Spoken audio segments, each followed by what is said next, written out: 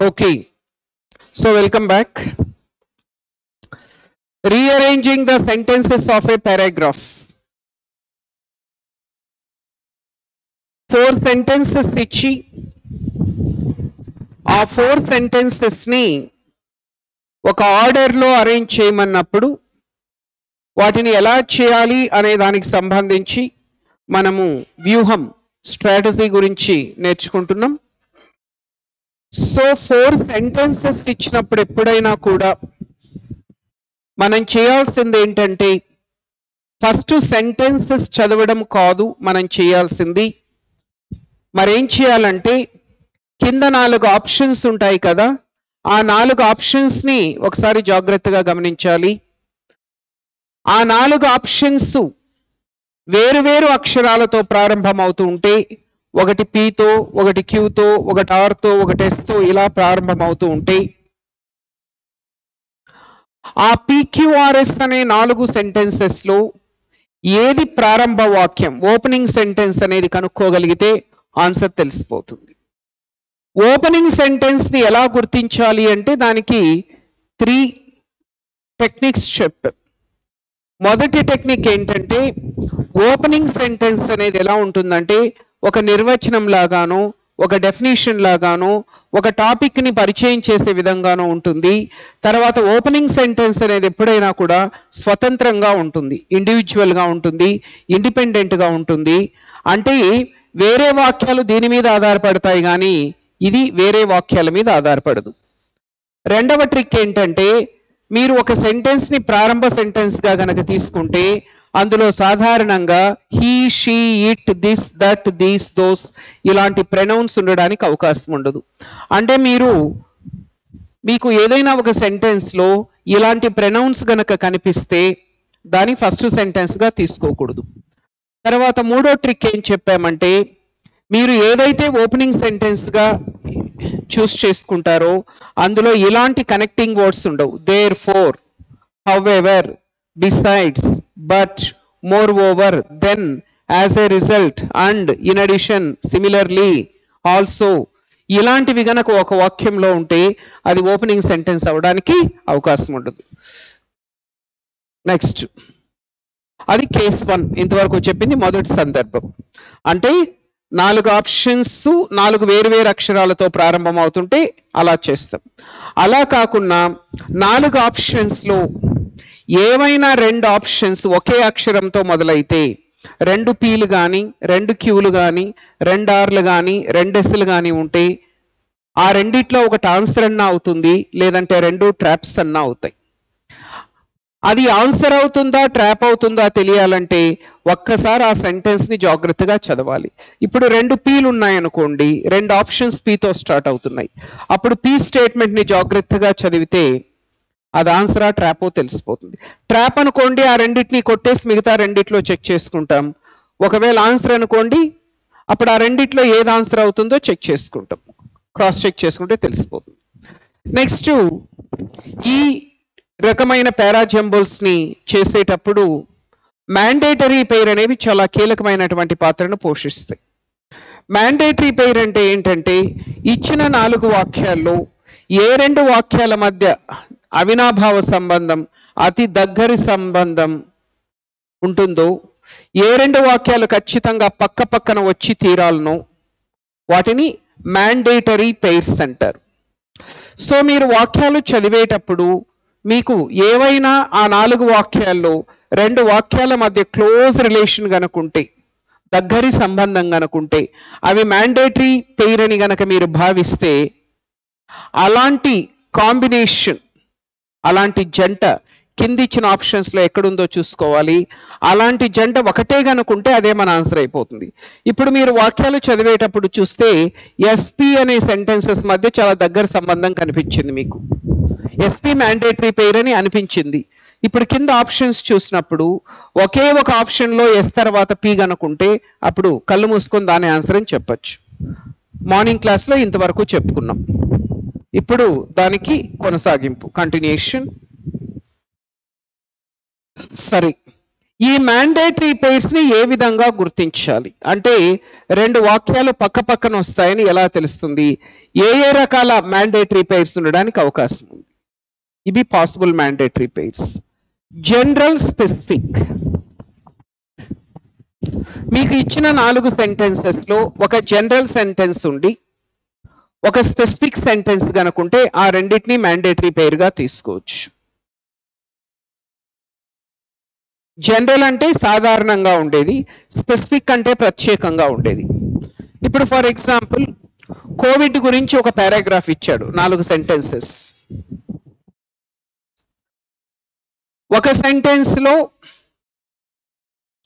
ఓవరాల్గా కోవిడ్ గురించి చెప్పాడు ప్రపంచవ్యాప్తంగా కోవిడ్ ఎలాంటి విలయాన్ని సృష్టించిందని. ఇంకొక సెంటెన్స్లో ఇండియా గురించి చెప్పాడు. అప్పుడు ఏమవుతుందంటే ఫస్ట్ చెప్పింది జనరల్ అవుతుంది. ఇండియాని ఉదాహరణగా తీసుకొని చెప్తున్నాడు కాబట్టి ఇండియా అనేది స్పెసిఫిక్ అవుతుంది. అది జనరల్ స్పెసిఫిక్ ఆ రెండింటిని మనం మ్యాండేట్ పేరుగా పరిగణించవచ్చు నౌను ప్రెనౌను మీకు ఒక సెంటెన్స్లో ఒక నౌన్ ఉంది. ఒక సెంటెన్స్లో నరేంద్ర మోదీ అని ఇచ్చాడు. ఇంకొక సెంటెన్స్లో హీ అని ఇచ్చాడు. అంటే ఆ రెండు మ్యాండేటరీ పేరు. నౌను ప్రెనౌన్ తీసుకోవచ్చు. ఫుల్ ఫాము అబ్రివేషను మీకు ఒక సెంటెన్స్లో వరల్డ్ హెల్త్ ఆర్గనైజేషన్ అని ఇచ్చాడు. వరల్డ్ హెల్త్ ఆర్గనైజేషన్ అని. ఇంకో సెంటెన్స్లో డబ్ల్యూహెచ్ఓ అని ఇచ్చాడు. అంటే ఫస్ట్ సెంటెన్స్లో ఫుల్ ఫామ్ ఇచ్చాడు సెకండ్ సెంటెన్స్లో అబ్రివేషన్ ఇచ్చాడు. అప్పుడు ఈ రెండు మ్యాండేటరీ పేర్స్ అవుతాయి. ఫస్ట్ ఫుల్ ఫామ్ ఉండేది తీసుకోవాలా తర్వాత అబ్రివేషన్ తీసుకోవాలా? క్వశ్చను ఆన్సరు మీకు నాలుగు సెంటెన్సెస్లో ఒక సెంటెన్స్ క్వశ్చన్ అడుగుతుంది ఇంకొక దాంట్లో దానికి సమాధానం ఇస్తున్నాడు. అప్పుడు ఆ రెండింటిని మ్యాండేటరీ పేరుగా తీసుకోవచ్చు. ప్రాబ్లము సొల్యూషన్ మీకు ఒక దగ్గర ఒక ప్రాబ్లం చెప్పాడు. నాలుగు వాక్యాల్లో ఒక వాక్యంలో ఒక ప్రాబ్లం ఉంది. ఇంకొక దానికి ఇంకొక వాక్యంలో దాని యొక్క సొల్యూషన్ పరిష్కారం ఉంది. అప్పుడు ఆ రెండు మ్యాండేటరీ పేరు అవుతాయి. Statement example. అంటే నాలుగు వాక్యాల్లో ఒకటి ఒక స్టేట్మెంట్ ఉంది ఒక నిర్వచనం ఉంది. ఇంకొక వాక్యంలో దానికి ఉదాహరణలు ఇచ్చాడు. అప్పుడు ఆ రెండింటిని మ్యాండేటరీ పేరుగా తీసుకోవచ్చు. Supporting contradictory. ఒక అంశం గురించి ఒక వాక్యం దాన్ని సమర్థిస్తూ ఉంది ఇంకొకటి దాన్ని వ్యతిరేకిస్తూ ఉంది అప్పుడు ఆ రెండింటిని మ్యాండేటరీ పేరుగా తీసుకోవచ్చు. ఇలా ఇవి పాసిబుల్ మ్యాండేటరీ పేర్స్ ప్రీ అంటే ముందు వచ్చేది పోస్ట్ అంటే తర్వాత వచ్చేది జనరల్ వచ్చి స్పెసిఫిక్ రావాలా నౌన్ వచ్చిన తర్వాత ప్రనౌన్ రావాలా ఫుల్ ఫామ్ వచ్చిన తర్వాత అబ్రివేషన్ క్వశ్చన్ వచ్చిన తర్వాత ఆన్సర్ ప్రాబ్లం వచ్చిన తర్వాత solution statement example supporting contradictory మీకు ఎక్సర్సైజ్ చేసేటప్పుడు అర్థమవుతాయి ఇవన్నీ ఏంటనేది.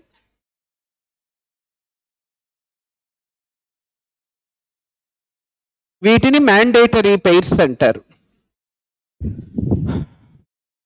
ఈ మ్యాండేటరీ పెయిర్స్ని గుర్తించడం ద్వారా కూడా మనము ఈజీగా ఆన్సర్ ఏంటనేది గుర్తించడానికి అవకాశం ఉంటుంది.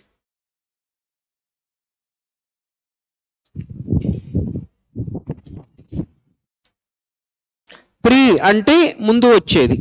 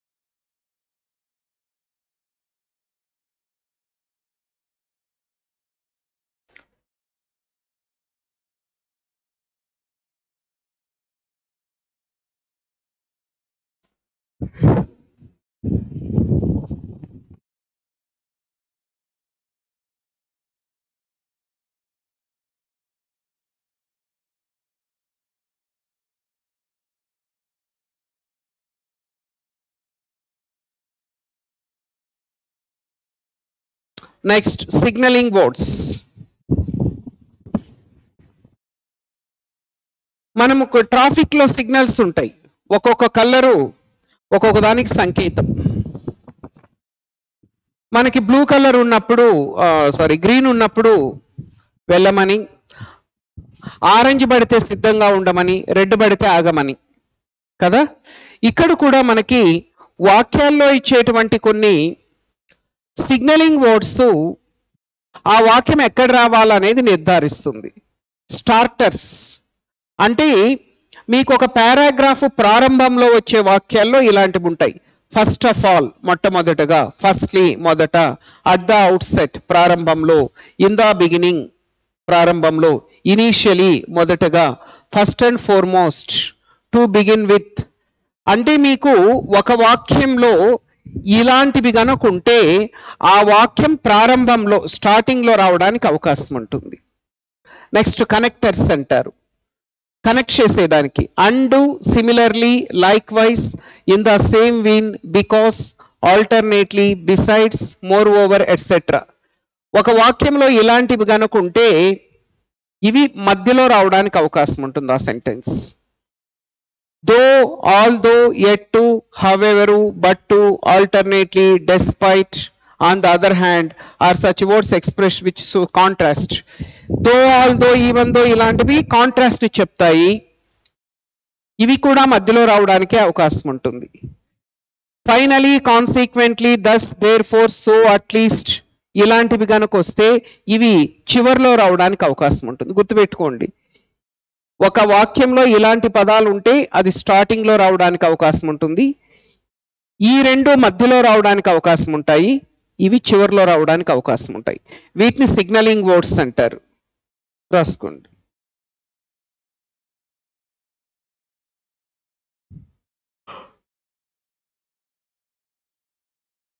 ఈ పదాలను బట్టి ఆ వాక్యం ప్రారంభంలో రావడానికి అవకాశం ఉందా? మధ్యలో రావడానికి అవకాశం ఉందా? చివరిలో రావడానికి అవకాశం ఉందా అని మనం నిర్ధారించవచ్చు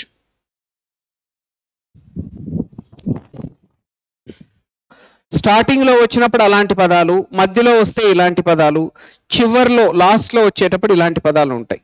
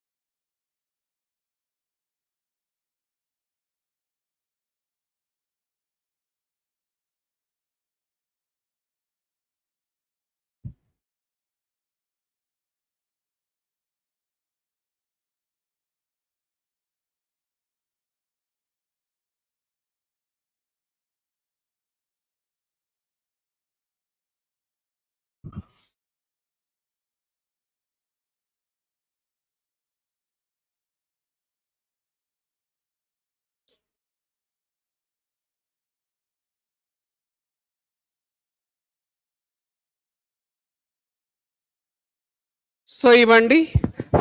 వీటిని సిగ్నలింగ్ వర్డ్స్ అంటారు. ఇలాంటివి వస్తే ఆ వాక్యం ప్రారంభంలో రావడానికి అవకాశం ఉందని ఇలాంటివి ఇలాంటివి వస్తే అది మధ్యలో రావడానికి అవకాశం ఉందని ఫైనలీ కాన్సిక్వెంట్లీ దస్ ఇలాంటివి వస్తే అది చివరిలో రావడానికి అవకాశం ఉందని అర్థమవుతుంది. ఇది దిస్ ఈజ్ ఇంట్రొడక్షన్ ఇప్పుడు మనం ఎక్సర్సైజ్ స్టార్ట్ చేస్తే మనకు క్లారిటీ వస్తుంది.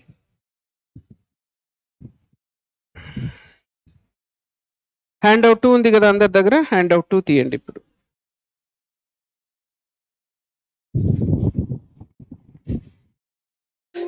ఇంతవరకు మనం థీరీ చూసాము.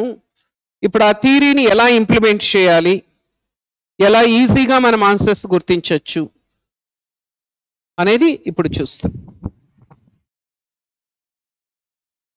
ఇలా ఇస్తాడు మన questions the questions below consist of a set of labelled sentences out of the four options given select the most logical order of the sentences to form a coherent paragraph మీకు నాలుగు వాక్యాలు ఇస్తాడు. ఆ నాలుగు వాక్యాలు అనేవి ఒక క్రమమైన పద్ధతిలో ఉండవు. క్రమరాహిత్యంగా ఉంటాయి. వాటిని ఒక క్రమమైన పద్ధతిలో అమర్చి ఒక అర్థవంతమైన పారాగ్రాఫ్గా రూపొందించాలి. ఇలా ఇస్తాడు. చూడండి. ఇప్పుడు ఫస్ట్ నేను చేస్తాను మీరు చూడండి. మళ్ళీ మీరు చేయొచ్చు. అంటే ఎంత ఈజీగా చేయొచ్చు చూడండి. మీకు చెప్పిన టెక్నిక్ ప్రకారము ఫస్ట్ మనం ఇవి చదవకూడదు. ఈ ఫోర్ సెంటెన్సెస్ చదవకూడదు. మరి ఏం చేయాలంటే ఈ నాలుగు ఆప్షన్స్ ఒకసారి చూసుకోండి. నాలుగు ఆప్షన్స్ని గమనిస్తే డి డిఏ అంటే నాలుగు ఆప్షన్స్లో రెండు ఆప్షన్స్ తోను రెండు ఆప్షన్స్ ఏతోనూ ప్రారంభమవుతున్నాయి. అంటే ఇప్పుడు ఈ నాలుగు వాక్యాల్లో ప్రారంభ వాక్యం ఓపెనింగ్ సెంటెన్స్ ఏ వస్తుందా బి వస్తుందా కనుక్కోగలిగితే రెండు ఆప్షన్స్ పక్కన పెట్టేయచ్చు. ఇప్పుడు ఏ స్టేట్మెంట్ని చదవండి డి స్టేట్మెంట్ని చదవండి. రెండిట్లో ఏతో ప్రారంభం అవడానికి అవకాశం ఉందా డితో ప్రారంభం అవడానికి అవకాశం ఉందా చెప్పండి. ఏ ఒకసారి చదువుదాం.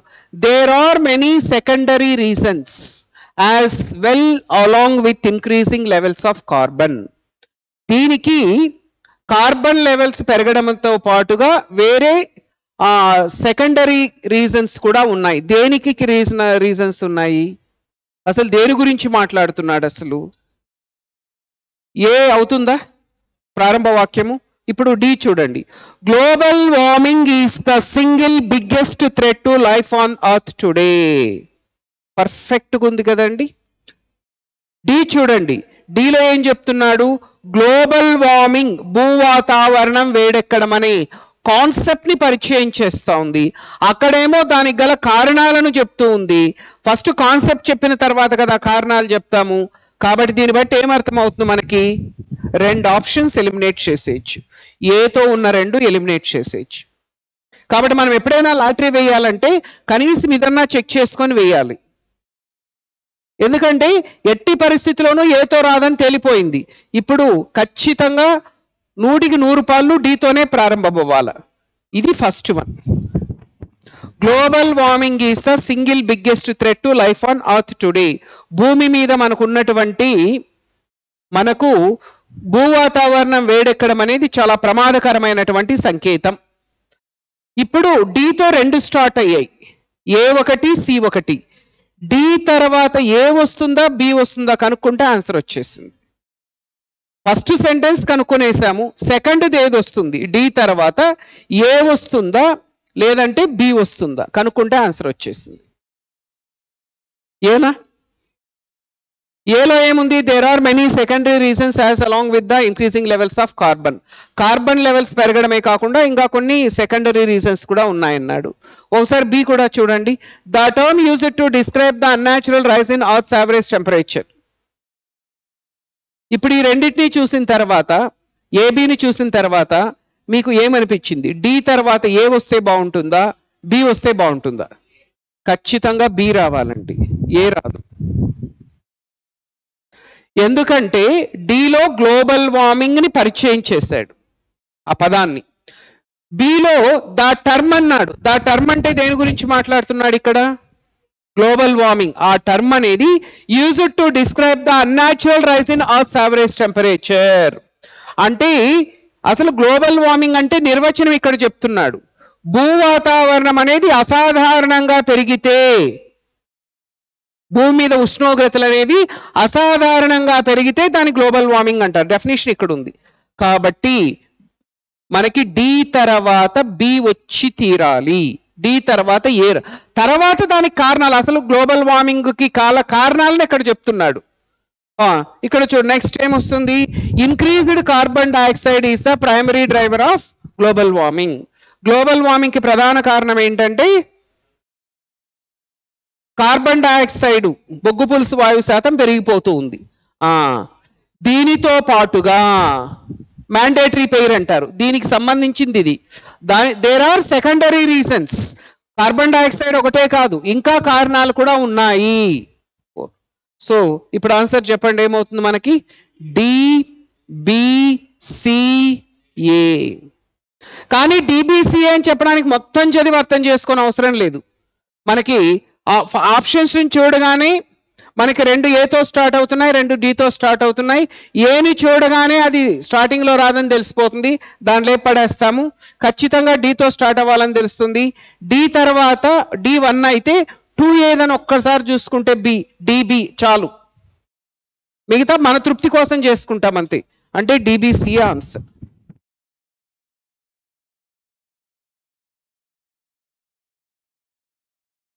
అంటే మీరు రెండు మూడు క్వశ్చన్లు చేస్తే మనకు అవగాహన వస్తుంది. ఇప్పుడు మళ్ళీ సెకండ్ క్వశ్చన్ ఒకసారి ఆప్షన్స్ చూద్దాం. డిసిబిడి చెప్పండి ఏమర్థమైంది మీకు? నాలుగు ఆప్షన్స్లో రెండు ఆప్షన్స్ దేంతో ప్రారంభమవుతున్నాయి?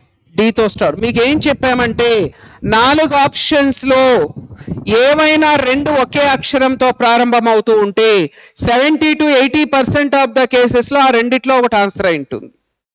ఇప్పుడు అది అవుతుందా కాదా? ఒక్కోసారి ట్రాప్ కూడా అయిండొచ్చు కాబట్టి ఒక్కసారి ఆ వాక్యం చదువుదాం. One day Tenali Raman and his wife were on their way to Hampi. Perfect ఉంది.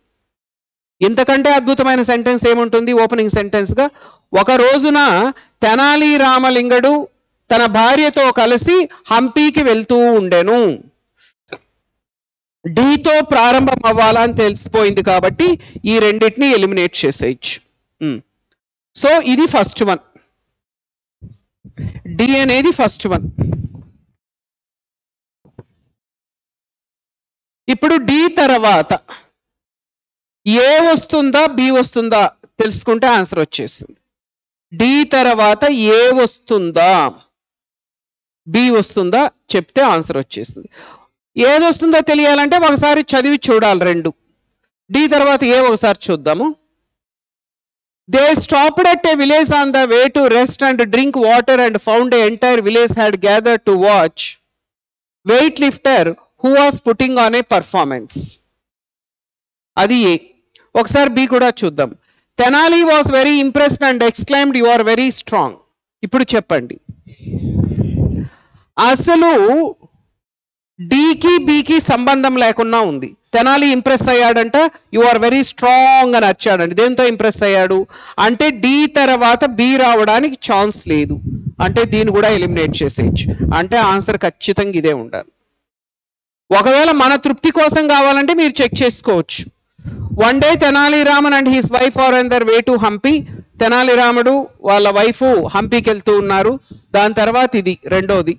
They stopped at a village mandatory pair చూడండి. ఇక్కడ నౌన్ వచ్చింది కదా? తెనాలి రామను భార్య నౌను. ఇక్కడ దే వచ్చింది. దే అంటే ఎవరిని సూచిస్తుంది? తెనాలి రామ వాళ్ళ భార్య. They stopped at a village on the way to rest and drink water వాళ్ళు హంపీకి వెళ్తూ దారి మధ్యలో ఒక చోట ఆగుతారు. ఎందుకంటే నీళ్ళు తాగి కాసేపు రెస్ట్ తీసుకుందామని.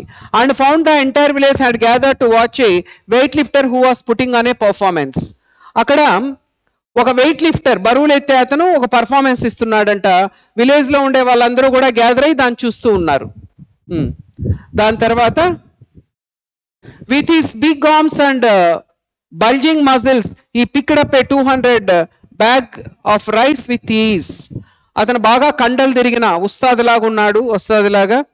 ఓకే అతను రెండు వందల కేజీలు ఉండేటువంటి బ్యాగ్ని అవలీలగా ఎత్తేసాడు next Tenali was very impressed and exclaimed you are very strong అది చూసి ఇతను ఇంప్రెస్ అయ్యి ఓ నువ్వు చాలా బలవంతుడు అని అతను అభినందించాడు. సో కరెక్ట్ ఆన్సర్ వచ్చి డిఎస్సిబి మన తృప్తి కోసం చదువుతున్నాం అర్థం చేసుకుంటున్నాం తప్ప మొదటి కొన్ని సెకండ్లోనే మనకు ఆన్సర్ తెలిసిపోతా ఉంది. మూడవ ప్రశ్న. ఒకసారి ఆప్షన్స్ చూద్దాం. డి డి సి బి ఏం గమనించారు? రెండు డీలు ఉన్నాయి. అంటే నైంటీ పర్సెంట్ మన ఆన్సర్ ఈ రెండిట్లోనే ఉంటుంది. Ninety percent. ఈ రెండిటిని లేపేయచ్చు. డీతో start అవ్వాల? Once a lion went hunting with three other beasts ఒకసారి ఒక సింహము మూడు ఇతర జంతువులతో కలిసి వేటకెళ్ళింది. డి తర్వాత సి వస్తుందా ఏ వస్తుందా కనుక్కుంటే ఆన్సర్ వచ్చేసింది. ఏ ఏముంది? When it was time to divide the spoils the lion took one portion for his little for his title king of the forest so వేటికెళ్ళి ఏదో ఒక జంతువుని అవి పట్టుకొని చంపేస్తాయి కదా ఇంకా పంచుకోవాలి కదా అన్నీ కలిసి. పంచుకునే సమయంలో ఈ లైన్ ఏం చేసిందంటే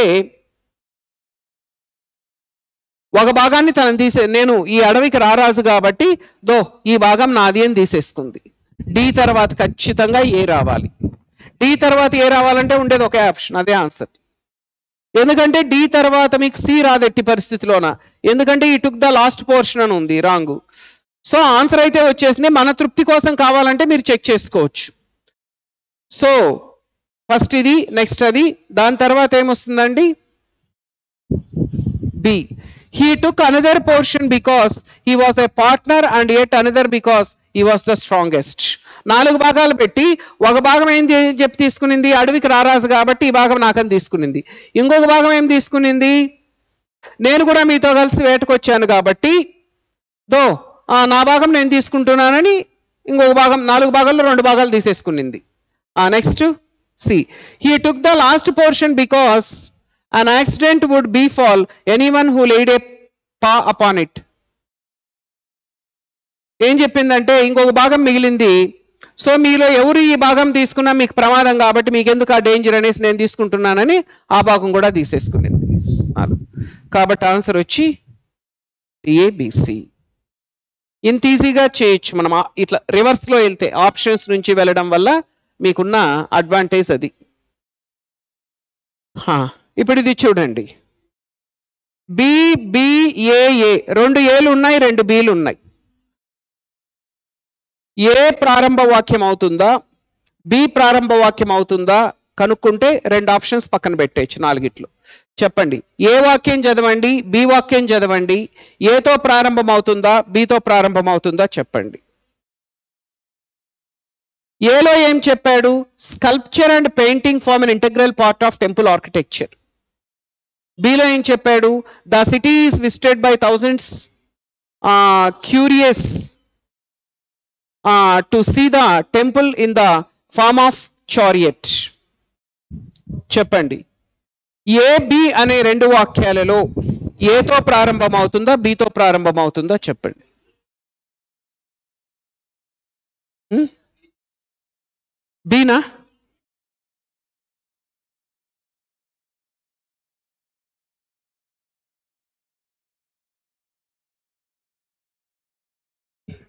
ఏనండి? బీతో ఎట్లా ప్రారంభం అవుతుంది అసలు? The city is visited by thousands. ఆ పట్టణము కొన్ని వేల మంది చేత సందర్శింపబడింది. ఏ పట్టణం అది? ఆ పట్టణం ఏదో తెలియకుండానే పట్టణం అంటే ఎట్లా? బీతో ప్రారంభం అవ్వదు ఖచ్చితంగా ఏతోనే ప్రారంభం అవ్వాలి స్కల్ప్చర్ అండ్ పెయింటింగ్ శిల్పకళ చిత్రలేఖనం అనేవి they form an integral part of temple architecture ఒక టెంపుల్ యొక్క ఆర్కిటెక్చర్లో ప్రముఖ పాత్రను పోషిస్తాయి. ఏ? ఇప్పుడు ఏ తర్వాత బి వస్తుందా సి వస్తుందా కనుక్కుంటే ఆన్సర్ వచ్చేసింది. ఏ తర్వాత బి ఏముంది? The city is visited by thousands అన్నాడు.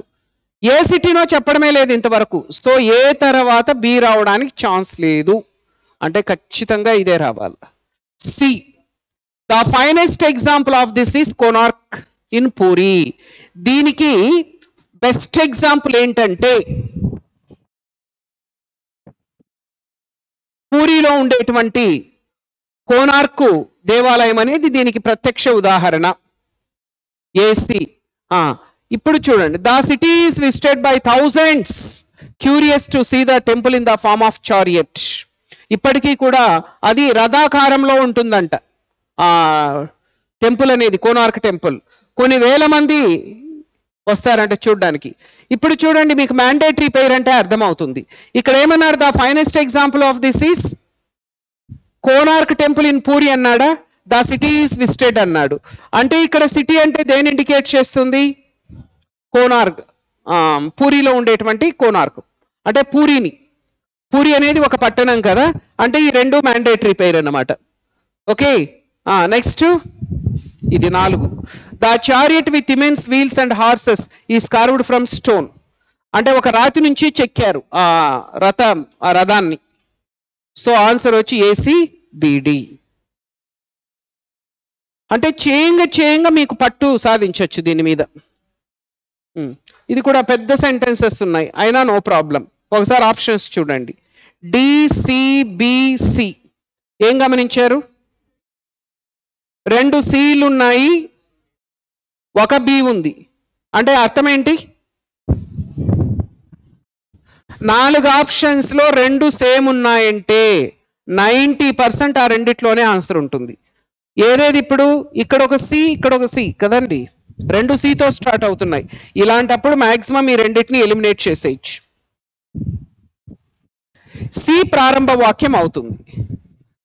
ఖచ్చితంగా అయి ఉంటుంది చెక్ చేసుకోండి కావాలంటే. A dog and a cock having struck up an acquaintance went out on their travels together.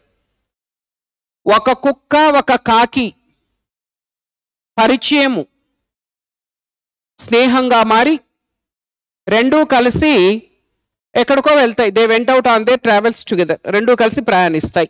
పర్ఫెక్ట్గా ఉంది. అంటే ప్రారంభ వాక్యానికి కావాల్సిన లక్షణాలన్నీ సలక్షణంగా ఉన్నాయి దీనికి. ఇప్పుడు సి తర్వాత ఇక్కడ డి ఉంది ఇక్కడ ఏ ఉంది?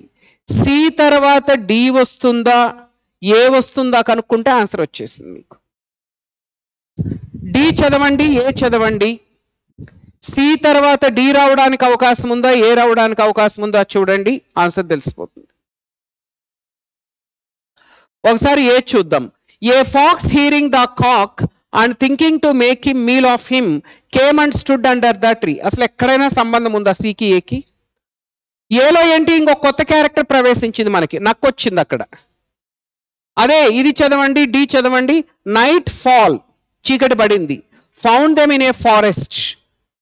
అప్పుడు ఆ సమయంలో ఒక అడవిలో ప్రయాణిస్తున్నాయి. ఏది? కుక్క కాకి. So the cock flying upon a tree so ఈ కాకి చెట్టు మీదకి ఎగిరింది. పచ్చిడ్ అమాంగ్ ద బ్రాంచెస్ ఏదో ఒక చెట్టు కొమ్మ మీద కూర్చున్నది. While the dog dozed below at the foot కుక్క చెట్టు ఎక్కలేదు కదా? ఇది కిందనే పడుకొని నిద్రపోతూ ఉంది. ఇప్పుడు సికి డికి అయితే సంబంధం ఉంది కదా? సో ఇది రెండవది అవుతుంది. సో సి తర్వాత డి రావాలా అని తెలిసిపోయింది కాబట్టి ఖచ్చితంగా ఆన్సర్ ఇదే అవ్వాలి. మన తృప్తి కోసం కావాలంటే మిగతా చెక్ చేసుకోవచ్చు. నెక్స్ట్ ఇది. As the night pass away రాత్రి గడిచే కొద్దీ and the day dawned the cock according to his custom set up a shrill crowing a fox hearing the cock and thinking to make a meal for him came and stood under the tree answer వచ్చి ఇలా మీరు చేయాలండి. అన్నీ నేను చేస్తే నాకు వస్తుంది మీకు రాదు కాబట్టి ఇప్పుడు మీరు చేయాలి. సిక్స్త్ వన్ చేయండి.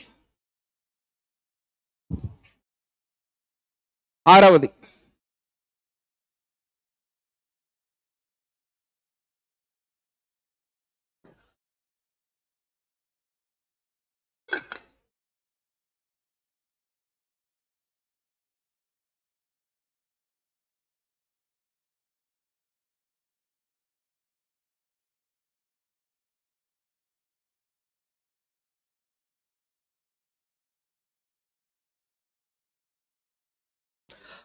ఒక్క సెకండ్లో ఆన్సర్ చెప్పొచ్చు దీనికైతే.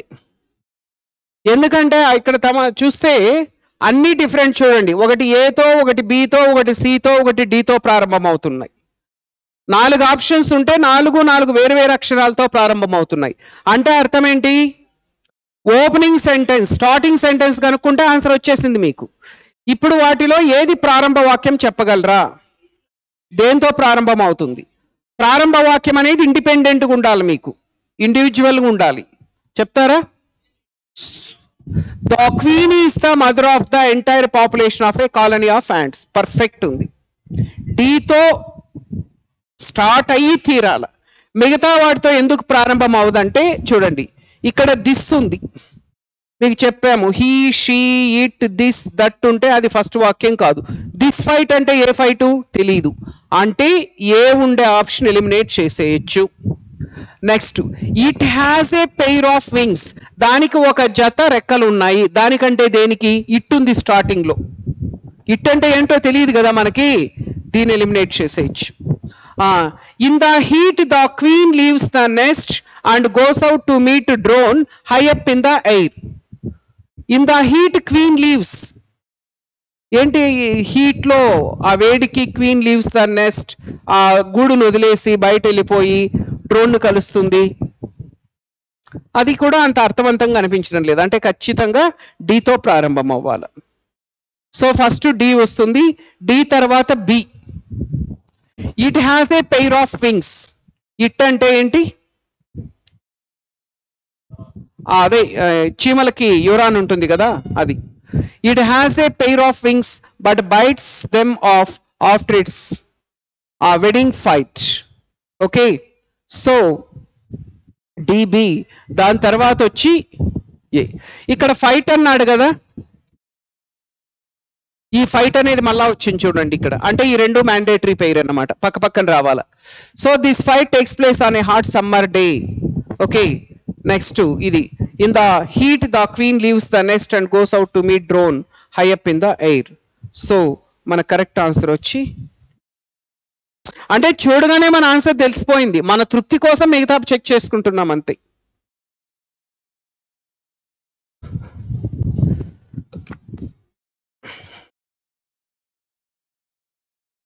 Seventh one.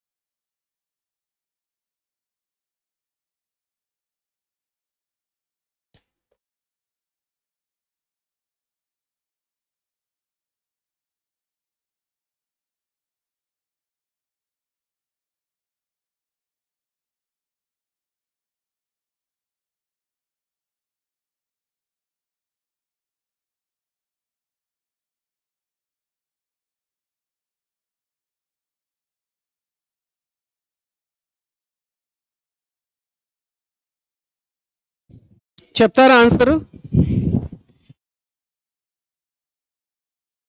ఫస్టా సెకండా థర్డా ఫోర్త్? ఫస్టా?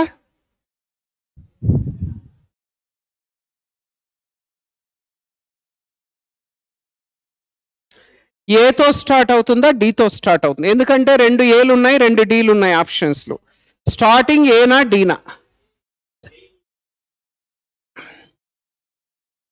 ఏతో ప్రారంభం అవ్వాలండి డీతో ప్రారంభం అవ్వదు ఎందుకంటే ఏలో అయితే ఆ కేవ్ ఎక్కడుందో కూడా చెప్పాడు. మేఘాలయాలో ఉందని చెప్పాడు. మీకు డీలో చూడండి ఎక్కడుందో తెలియదు అది.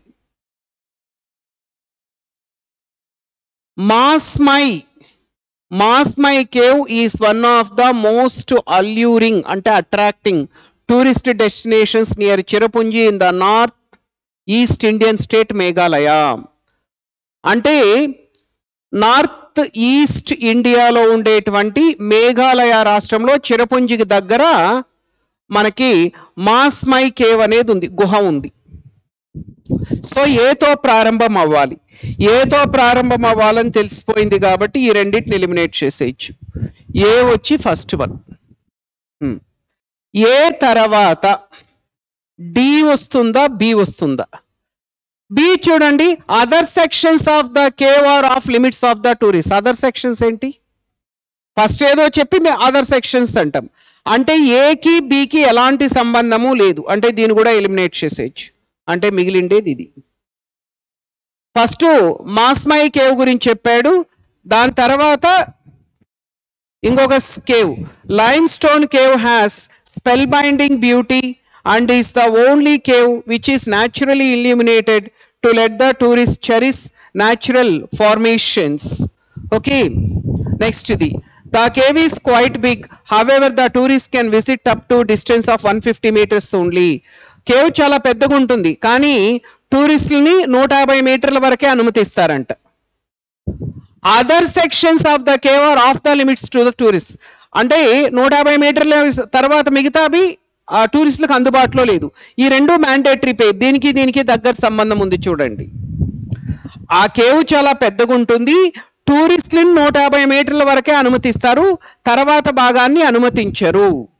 సో ఆన్సర్ వచ్చి ఏడిసిబి చేయంగా చేయంగా మీకు పట్టొస్తుంది. ఎనిమిదవది చేయండి.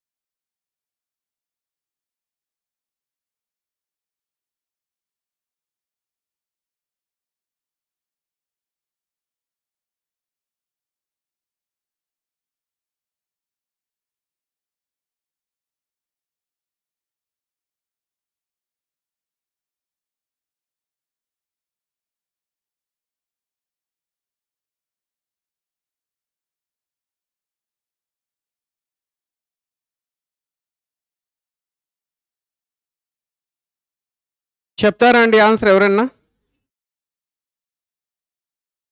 వన్ టూ త్రీ ఫోర్ అనండి. ఎందుకంటే అవి కన్ఫ్యూజింగ్ ఉంటాయి. అన్ని ఎందుకంటే అవి అవి అలాగే ఉన్నాయి.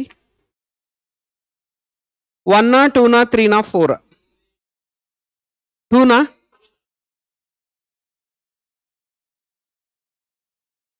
బీసీఏడీనా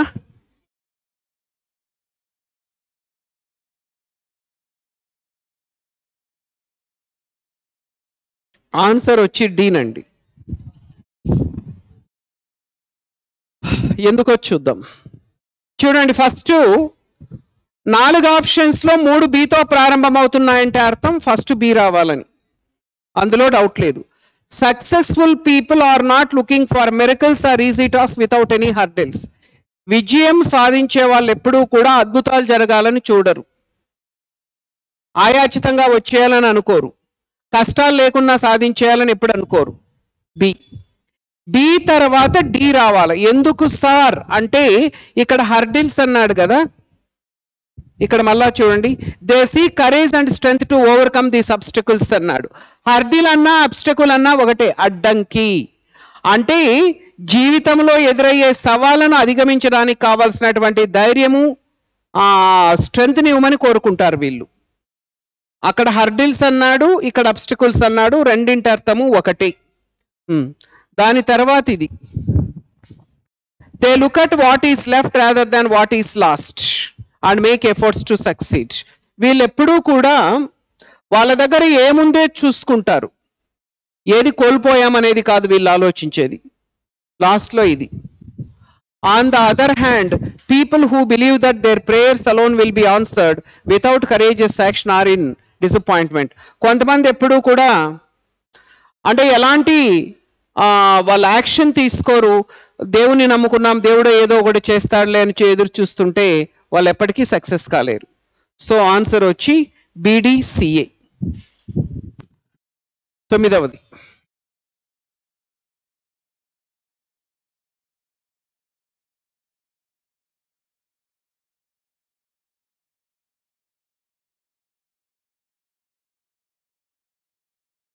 చూడగానే రెండు ఆప్షన్స్ ఎలిమినేట్ చేసేయచ్చండి మిగతా రెండిట్లో ఒకటి ఎందుకు ఎందుకో సెలెక్ట్ చేసుకోవడమే మనకు ఉండేది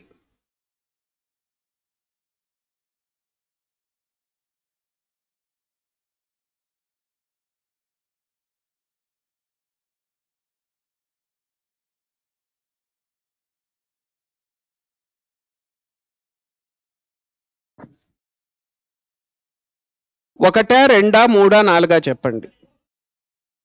చాలా ఈజీనండి ఇది. చాలా easy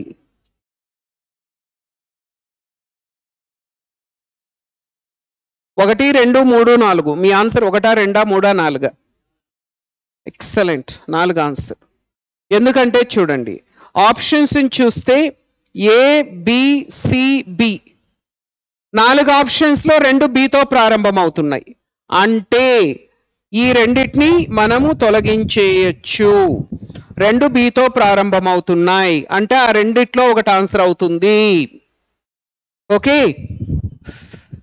There is only one magic in life that can help you to turn your dreams into reality మీ కలలను నిజం చేసుకోవడానికి ఒకే ఒక మ్యాజిక్ ఉంది అని చెప్తున్నాడు. ఇప్పుడు బి తర్వాత ఏ వస్తుందా సి వస్తుందా? ఏ కదండి? That magic is believing in yourself a hundred percent ఇక్కడ ఏమన్నాడు? ఒక మ్యాజిక్ ఉంటుంది అన్నాడు. ఆ మ్యాజిక్ గురించి మళ్ళీ ఇక్కడ చెప్తున్నాడు. అంటే ఈ రెండు మ్యాండేటరీ పెయిర్ ఆ మ్యా అంటే మీ కలలను నిజం చేసుకోవాలంటే ఒక మ్యాజిక్ ఉంది. ఆ మ్యాజిక్ ఏంటంటే మిమ్మల్ని మీరు వంద శాతం నమ్మడం. మిమ్మల్ని మీరు నమ్మితే ఏదైనా సాధించగలరు. బి బి తర్వాత ఏ దాని తర్వాత ఇది C. You will be able to face life challenges without courage only if you believe in yourself and in your capacity to meet those challenges లాస్ట్లో ఇది వస్తుంది. Therefore the most important lesson that a family can teach its members is to have the faith in oneself మన మీద మనకు నమ్మకం ఉంటే మనం ఏదైనా సాధించవచ్చు బిఎస్సిడి చూడండి ఇక్కడ మ్యాజిక్ అన్నాడు అక్కడ మ్యాజిక్. అంటే ఆ రెండు మ్యాండేటరీ పెయిర్ అనమాట బి తర్వాత ఏ వచ్చి తీరాలి. మ్యాజిక్ గురించి మాట్లాడుతున్నాడు కాబట్టి. టెన్త్ వన్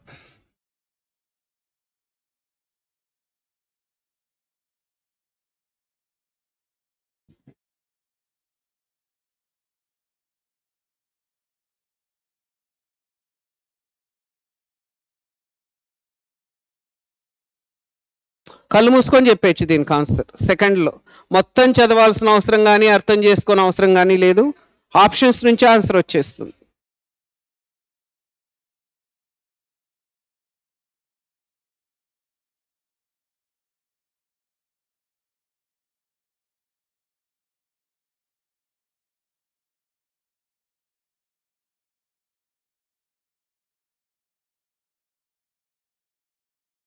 ఆన్సరు ఒకటా రెండా మూడా నాలుగా? చెప్పండి కరెక్టే.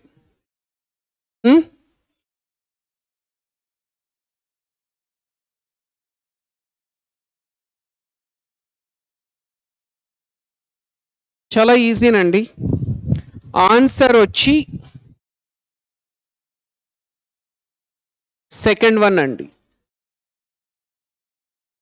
Second one. A B D C ఎందుకంటే చూడండి ఆప్షన్స్ చూస్తే నాలుగు ఆప్షన్స్ ఉంటే నాలుగు వేరు వేరు వేరు అక్షరాలతో స్టార్ట్ అవుతుంది. ఒకటి ఏ ఒకటి బి ఒకటి సి ఒకటి డి మీకేం చెప్పాము? నాలుగు నాలుగు వేరు వేరు అక్షరాలతో ప్రారంభమవుతున్నప్పుడు ఈ నాలుగింటిలో ఓపెనింగ్ సెంటెన్స్ ఏదో కనుక్కుంటే ఆన్సర్ వచ్చేసిందని చెప్పాము మీకు. ఫస్ట్ సెంటెన్స్ చూడండి cheetahs are one of the world's most recognizable cats known especially for their speed పర్ఫెక్ట్గా ఉంది కదా ఓపెనింగ్ సెంటెన్స్కి కావాల్సిన లక్షణాలన్నీ ఉన్నాయి. చిరుత గురించి పరిచయం చేస్తున్నాడు. Cheetahs are one of the world's most recognizable cats cat ఫ్యామిలీకి చెందుతాయి ఇవి. వేగంగా పరిగెత్తే జంతువుల్లో మనకి చిరుత కూడా ఒకటి కదండి. కాబట్టి ఏతో ప్రారంభం అవ్వాలి ఎందుకంటే చిరుతను పరిచయం చేస్తూ ఉంది. మిగతా ఎందుకు కాదంటే చూద్దాం. ఇక్కడ దెయిర్ ఫేసెస్ అన్నాడు. వాటి ముఖాలు వాటి ముఖాలు అంటే వేటి ముఖము? తెలియదు కదా. సో బీతో ప్రారంభం అవడానికి అవకాశం లేదు. ఒక వికెట్ పడిపోతుంది. ఇక్కడ దే హ్యావ్ ఏ లాంగ్ అన్నాడు. దే అంటే ఎవరు? తెలియదు దీన్ని ఎలిమినేట్ చేసేయచ్చు. A C C. ఏముంది? Cheetahs are covered almost entirely with small black spots on a background of pale yellow and have a white underbelly అన్నాడు. అంటే వాటి రంగు గురించి మాట్లాడుతున్నాడు. కానీ ఫస్ట్ వాటి గురించి చెప్పి వాటి రంగు గురించి మాట్లాడాలి కాబట్టి మనకి సి కూడా కాదు. అంటే మిగిలిండేది వచ్చి బి ఏబిడిసి ఇది ఫస్ట్ వస్తుంది. Cheetahs are one of the world's most recognizable cats known especially for their speech దాని తర్వాత B. Their faces too are distinguished by prominent black lines that curve ఫ్రమ్ ద inner corner of each eye to outer corner of the mouth like a well worn trail of inky tears అంటే అవి ఎలా ఉంటాయి? వాటి colour వాటి గురించి మాట్లాడుతున్నారు. They have a long slender body measuring two metres with a long tail sixty five to eighty five centimetres that generally ends in a white stuff లాస్ట్లో ఇది వస్తుంది. ఏబిడిసి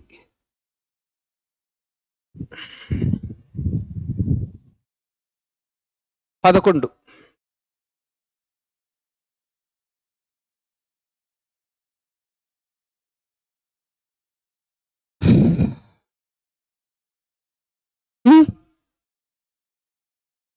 ఆప్షన్ ఫోర్ బో చాలా స్పీడ్ మీద ఉన్నారు.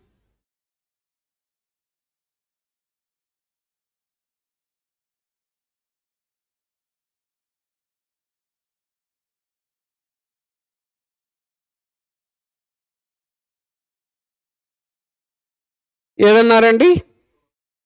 చించేశారు చించేశారు. చూడండి ఆప్షన్స్ చూస్తే రెండు సీలు రెండు ఏలు ఉన్నాయి. స్టార్టింగ్ సెంటెన్స్ సీనా ఏనా కనుక్కుంటే ఆన్సర్ వచ్చేసింది. ఒకసారి ఏ చదువుదాం.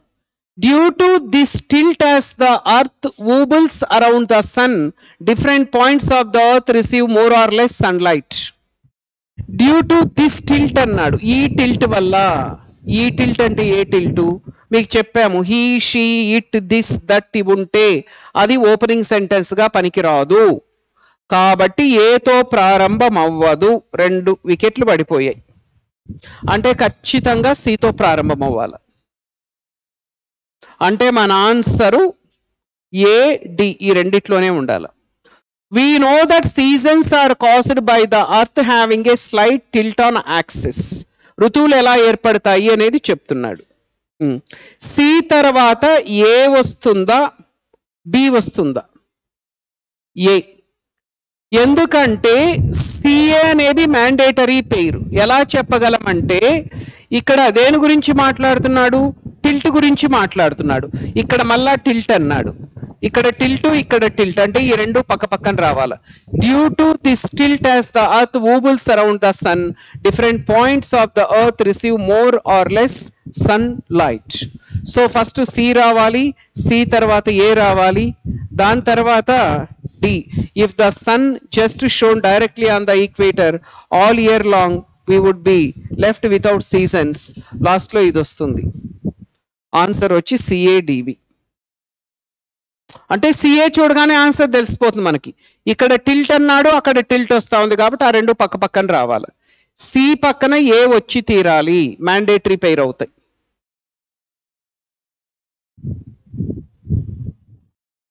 ట్వెల్త్ వన్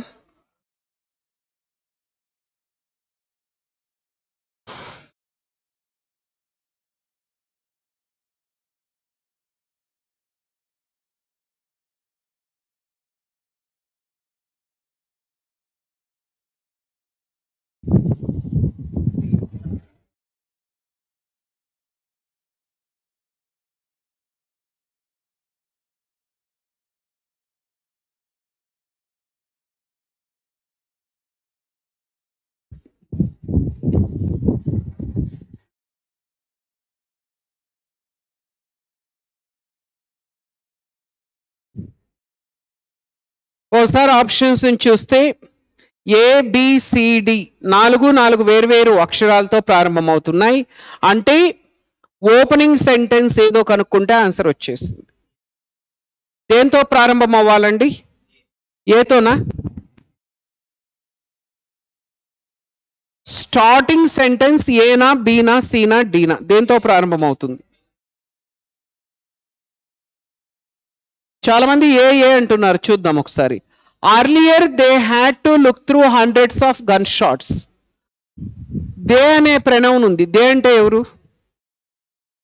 ఎవరో తెలుసా? మీకేం చెప్పాము? He she it this that these those ఉంటే అది ఫస్ట్ సెంటెన్స్ కాదు. అక్కడ దే అంటే ఎవరు? దే అంటే వారు. వారంటే ఎవరు? తెలియదు. కాబట్టి ఏతో ప్రారంభం అవ్వదు నెక్స్ట్ బిలో చూడండి. దిస్ సేవ్స్ అన్నాడు. దిస్ సేవ్స్ అంటే వాట్ సేవ్స్ దిస్ ఉంది స్టార్టింగ్లో. ఎట్టి పరిస్థితిలో కాదు.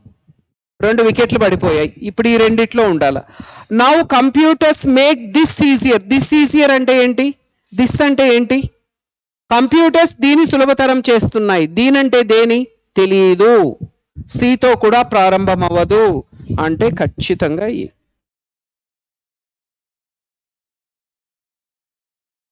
అంటే డీతో ప్రారంభం అవ్వాలండి after a crime witnesses often give the police a description and thus help identify the criminal దాని తర్వాత ఇది.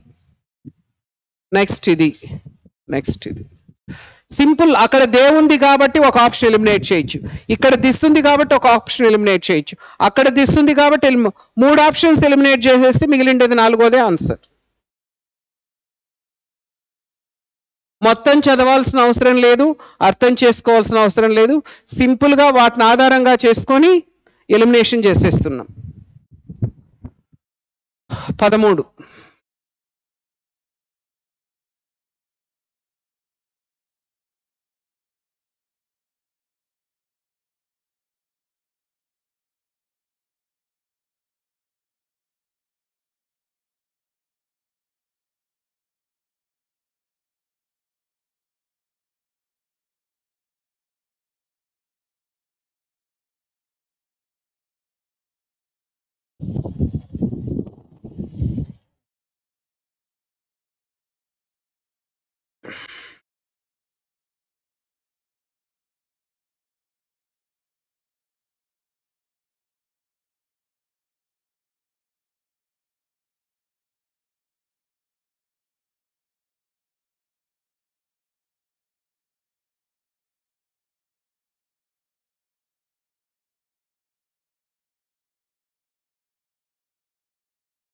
చెప్తారా answer? One two three four అనుకుందాం బాగుంటుంది. టూనా? త్రీనండి. చాలా ఈజీ కదా. ఎందుకంటే ఒకటి ఏతో ఒకటి బితో ఒకటి సితో ఒకటి డితో ప్రారంభం అవుతున్నాయి అవునా? అంటే ఓపెనింగ్ సెంటెన్స్ కరెక్ట్గా కనుక్కుంటే ఆన్సర్ వచ్చేస్తుంది మీకు. RF Winfrey is one of the richest and most powerful American women loved and admired by everyone ఎంత స్పష్టంగా ఉందండి? ఫస్ట్ ఏతోనే ప్రారంభం అవ్వాలి? ఎందుకంటే మనకి ఒక ఉమెన్ని ఇంట్రడ్యూస్ చేస్తున్నాడు పరిచయం చేస్తున్నాడు. ఆవిడెవరు? ఏ దేశానికి చెందుతుంది? ఇలా. సో ఏతోనే ప్రారంభం అవ్వాలి? మిగతావి ఎందుకు కాదు సార్ అంటే ఇక్కడ షీ అనే ప్రణౌన్ ఉంది బీలో ఆమె ఆమె అంటే ఎవరో తెలియదు కాబట్టి ఈ ఆప్షన్ ఎలిమినేట్ చేసేయచ్చు. ఇక్కడ బట్ ఉంది. స్టార్టింగ్లోనే బట్ ఉండదు మీకు ఎప్పుడు కానీ ఒక పారాగ్రాఫ్ బిగినింగ్లో మీకు చెప్పాము. సో బట్ ఉంది కాబట్టి సితో స్టార్ట్ అయిన ఆప్షన్ ఎలిమినేట్ చేసేయచ్చు. Next. D. In nineteen eighty six ఆర్ప్ became అన్నాడు. ఇక్కడ షార్ట్ నేమ్ ఇచ్చాడు ఇక్కడ ఫుల్ నేమ్ ఇచ్చాడు. మనకి ఎప్పుడైనా ఫుల్ నేమ్ తర్వాతనే షార్ట్ నేమ్ అండి వస్తుంది ఇక్కడ పూర్తి పేరు ఇచ్చాడు చూడండి. ఏంటి? Oprah Winfrey. ఇక్కడికి వచ్చేసరికి ఏమైంది? ఆప్ర్ ఉంది విన్ఫ్రే లేదు. కాబట్టి దాని తర్వాత ఇది రావాలి కానీ దీని తర్వాత అది రాదు ఎప్పుడు కానీ. ఆహా అది షో పేరు అది ఆమె ఒక షో కండక్ట్ చేసిందంట. ఆ షో పేరు. ఇంకొకటి ఏంటంటే మీకు ఏలో అయితే ఆమె ఏ దేశానికి చెందింది ఆమె ప్రత్యేకత ఏంటనేది కూడా ఇచ్చాడు మీకు. Oprah Winfrey is one of the richest and most powerful American women. అంటే అమెరికా దేశానికి చెందినటువంటి శక్తివంతమైనటువంటి డబ్బు కలిగిన మహి మహిళ. Loved and admired by everyone అందరూ ఈమెని ఆరాధిస్తారు. సో ఏతో ప్రారంభం అవ్వాల దాని తర్వాత B. When she was only nineteen she became the first black female assistant to Nashville's evening news anchor ఆమెకు పంతొమ్మిది సంవత్సరాల వయసు ఉన్నప్పుడు ఆమె ఫస్ట్ బ్లాక్ ఫిమేల్ అసిస్టెంట్ అన్నమాట. దేనికి? నాస్ విలీస్ ఈవినింగ్ న్యూస్ యాంకర్ నాస్ విలీస్ అని ఈవినింగ్ న్యూస్ యాంకర్కి ఆమె న్యూస్ని హోస్ట్ చేసింది. ఫస్ట్ ఉమెన్ బ్లాక్లో ఈమె. దీని తర్వాత ఇది. In nineteen eighty six are became the television presenter of our own talk show పంతొమ్మిది వందల ఎనభై ఆరులో ఈమె ఒక టాక్ షోని ప్రెసెంట్ చేసింది. ద ఓప్రా విన్ఫ్రీ షో అని లాస్ట్లో ఇది వస్తుంది. But Oprah had a very difficult and traumatic childhood so correct answer వచ్చి మనకి ఏమవుతుందంటే ఏబిడిసి ఏబిడిసి ఆన్సర్ వచ్చి సి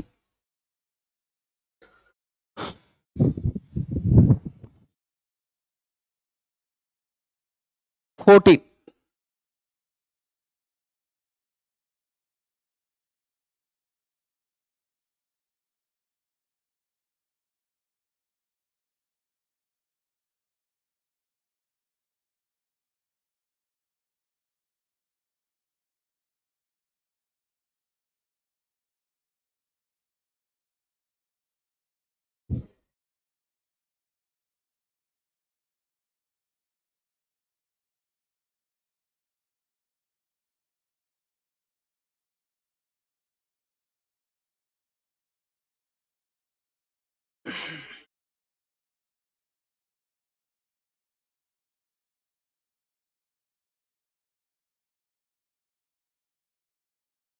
చెప్పండి.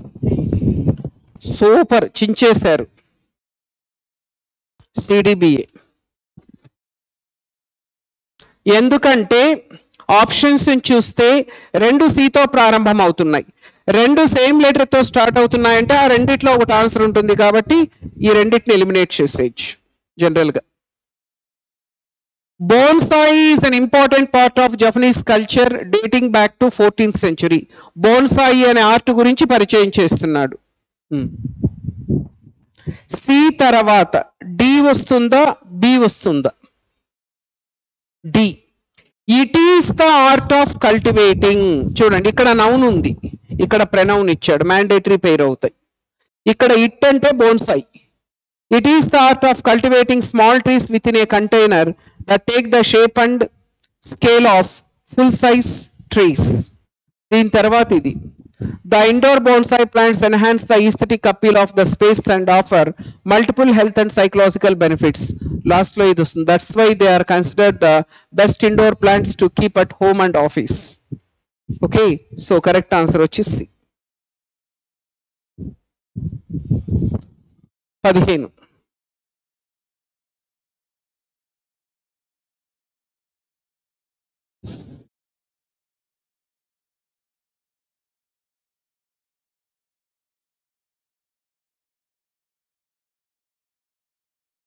ఒక సెకండ్లో ఆన్సర్ చెప్పచ్చు ఇదైతే. Super super super super. కరెక్టే. ఎందుకంటే చూడండి నాలుగు ఆప్షన్స్ ఇస్తే నాలుగు వేరు వేరు అక్షరాలతో స్టార్ట్ అవుతున్నాయి. ఏ ఒకటి బి ఒకటి సి ఒకటి డి ఒకటి. అంటే ఫస్ట్ సెంటెన్స్ కనుక్కుంటే ఆన్సర్ వచ్చేసింది. ఏలో దేవుంది. స్టార్టింగ్లో హీ షీ ఇట్ దేవుంటే వాటిని ఫస్ట్ సెంటెన్స్గా తీసుకోకూడదు. దీన్ని లేపేయచ్చు. ఇక్కడ ఫైనలీ ఉంది. ఫైనలీ వస్తే లాస్ట్లో కదా వస్తుంది అది. సో బీని దీన్ని ఎలిమినేట్ చేసేయచ్చు. నెక్స్ట్ ఈ సిడిలో ఇక్కడ once there they can walk అన్నాడు. దే అంటే ఎవరు? తెలియదు ఎలిమినేట్ చేసేయచ్చు. మిగిలిండేది ఇది ఒకటే అంటే చూడండి మనం ఏం చదవలేదు మనం ఏం అర్థం చేసుకోలేదు. అక్కడ దేవుంది కాబట్టి దాన్ని ఎలిమినేట్ చేసాం అక్కడ ఫైనలీ ఉంది కాబట్టి దాన్ని ఎలిమినేట్ చేసాం ఇక్కడ దేవుంది కాబట్టి దీన్ని ఎలిమినేట్ చేసేసాం. మూడు ఎలిమినేట్ చేస్తే మిగిలిండేది నాలుగోదే ఆన్సర్ అవుతుంది.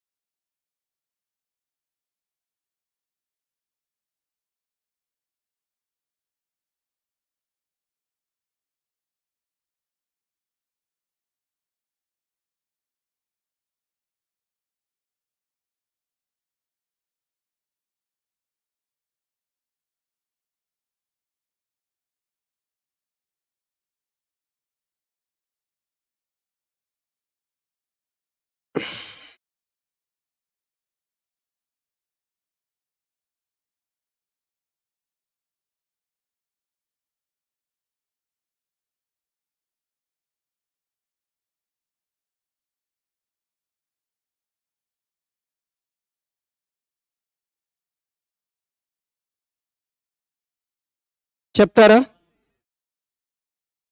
వన్నా? Super super super. చూడండి ఆప్షన్స్ చూస్తే బి రెండు బీలు ఉన్నాయి రెండు ఏలు ఉన్నాయి. బితో స్టార్ట్ అవుతుందా ఏతో స్టార్ట్ అవుతుందా తెలిస్తే రెండు ఆప్షన్స్ ఎలిమినేట్ చేయి. It becomes evident from their stories అన్నారు. వీరి కథల నుంచి వీరి కథలు అంటే ఎవరి కథలు? దెయిర్ అంటే ఏంటో తెలియదు కాబట్టి ఏతో ఉన్న రెండు ఆప్షన్స్ ఎలిమినేట్ చేసేయచ్చు. వారి కథలు వార్లంటే ఎవరు? అంటే బీతో ప్రారంభం అవ్వాలి we read many stories of people who overcame serious disabilities అంటే మనం కథలు చదువుతూ ఉంటాం. కొంతమంది వాళ్ళకు ఉన్నటువంటి డిసబిలిటీస్ని సునాయాసంగా అధిగమిస్తూ ఉంటారు. బి తర్వాత సి వస్తుందా ఏ వస్తుందా? ఏనండి it becomes evident from their stories ఇక్కడ స్టోరీస్ అన్నాడా? అవునా? మనకు ఇక్కడ వి రీడ్ మెనీ స్టోరీస్ అన్నాడా? ఇక్కడ స్టోరీస్ ఇక్కడ స్టోరీస్ అంటే ఈ రెండు మ్యాండేటరీ పేరు. బి తర్వాత ఏ వచ్చి తీరాలి. అంటే మిగిలిండేది ఇదే. బిఏ తర్వాత ఇది వస్తుంది. లాస్ట్లో ఇది వస్తుంది. బీకి ఏకి చాలా దగ్గరి సంబంధం ఉంది చూడండి. అందుకని మ్యాండేటరీ పెయిర్ అంటారు ఆ రెండింటిని. ఎందుకంటే ఇక్కడ స్టోరీస్ అన్నాడు మళ్ళీ అక్కడ స్టోరీస్ అన్నాడు. అంటే ఆ రెండు రిలేటెడ్ అన్నమాట. ఇప్పుడు ఈ మోడల్ని బేస్ చేసుకొని మనకి ప్రీవియస్ ఎస్ఐ కానిస్టేబుల్లో అడిగిన క్వశ్చన్స్ చూద్దాం. SI mains two thousand eighteen రెండు వేల పద్దెనిమిదిలో తెలంగాణలో జరిగిన ఎస్ఐ మెయిన్స్ ఆబ్జెక్టివ్లో ఈ క్వశ్చన్ ఇచ్చాడు. ఇంతవరకు మనం చేసినవి SSC tier two SSC mains questions.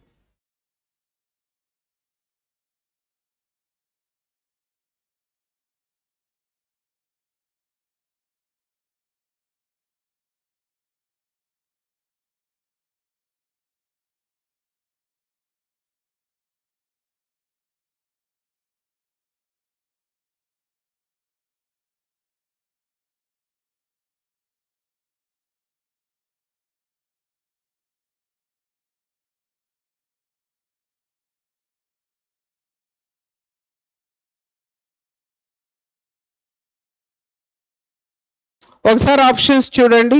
RR PS రెండు ఆర్లు ఉన్నాయి రిమైనింగ్ రెండు పిఎస్లు ఉన్నాయి. కాబట్టి ఆర్తో స్టార్ట్ అవ్వడానికి ఛాన్స్ ఉంది. ఒకసారి ఆర్ చూద్దాం.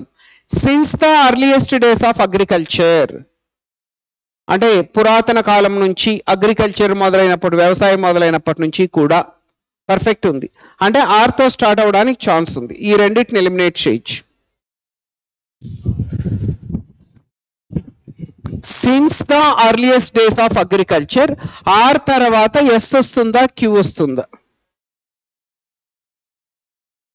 Since the earliest days of agriculture of the world ఏంటి? ఆర్ తర్వాత ఎస్ రాదు. ఎలిమినేట్ చేసేయచ్చు. అంటే మిగిలిండేది ఇదే ఇంకా. Since the earliest days of agriculture crops in many parts of the world have been attacked by locusts అంటే ఈ లోకస్ అనేవి పంటల్ని ధ్వంసం చేశాయి. ఈజీకి ఇచ్చాడు.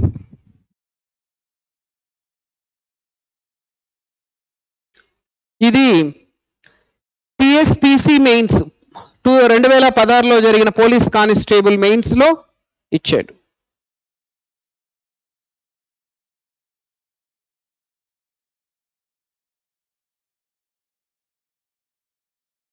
ఆ వన్ టూ త్రీలు పక్కన పెట్టేసేయండి మీరు. వన్ టూ త్రీలు మానేసి మిగతా చూసుకోండి. CD AB DC BA AC DB BD AC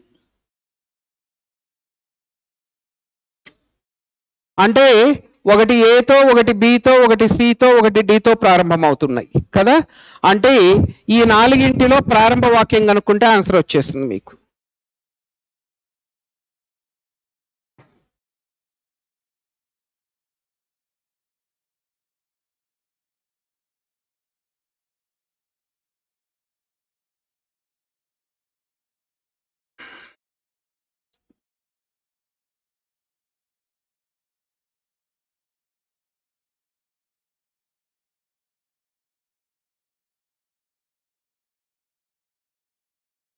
లేదండి చించేశారు. మామూలుగా కాదు. ఎస్ చూడండి వీటిలో ప్రారంభ వాక్యం అవడానికి అర్హత ఉన్నది ఒకే ఒకటి బి బితో ప్రారంభం అవ్వాలి పారాగ్రాఫ్. ఎందుకంటే ద ప్రాబ్లమ్ ఆఫ్ ఫుడ్ ఆహార సమస్య గురించి చెప్తున్నాడు. The problem of food is intimately connect with the population. అంటే ఫుడ్ అంటే ఆహార సమస్య అనేది పాపులేషన్తో సంబంధం కలిగి ఉంటుంది జనాభాతో. The market is govern by demand and supply market ఎప్పుడూ కూడా డిమాండ్ సప్లై ఆధారంగా ఉంటుంది. ఇది ఒకటండి.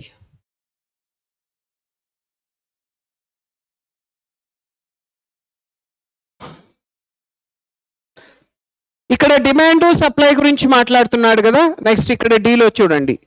ఇది ఇది రెండోది. If too many people demand goods to go around prices will rise and poor classes will starve అంతే కదా? If too many people demand goods to go around so ఎక్కువ ఇప్పుడు ప్రొడక్షన్ తక్కువ ఉంది. ఎక్కువ మంది గూడ్స్ కోసం వెళ్ళినప్పుడు ఏమవుతుందంటే ధరలకు అంటే ధరలకు రెక్కలు వస్తాయి. ధరలు పెరిగిపోతాయి. అప్పుడు ఏమవుతుంది ఇది. Wages will seldom rise in proportion to the rising prices అంటే పెరుగుతున్న ధరలకు అనుగుణంగా ఆ దానికి ప్రపోర్షనేట్గా వాళ్ళ యొక్క జీతాలు కానీ వేతనాలు కానీ పెరగవు. అప్పుడేమవుతుంది? Without enough without enough food such people lack health efficiency, of efficiency and they easy prey easy all sorts all diseases. Of diseases అప్పుడు ఏమవుతుంది వితౌట్ ఇనఫ్ ఫుడ్ సరైన ఆహారము ఆహారం సరిపోక అలాంటి వాళ్ళు ఆరో అనారోగ్య సమస్యలతో బాధపడుతుంటారు. అన్ని రకాల డిసీజెస్కి కూడా వాళ్ళు గురి అవుతూ ఉంటారు. సో కరెక్ట్ ఆన్సర్ వచ్చి D.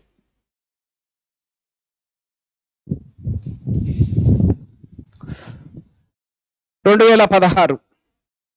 Telangana police constable mains.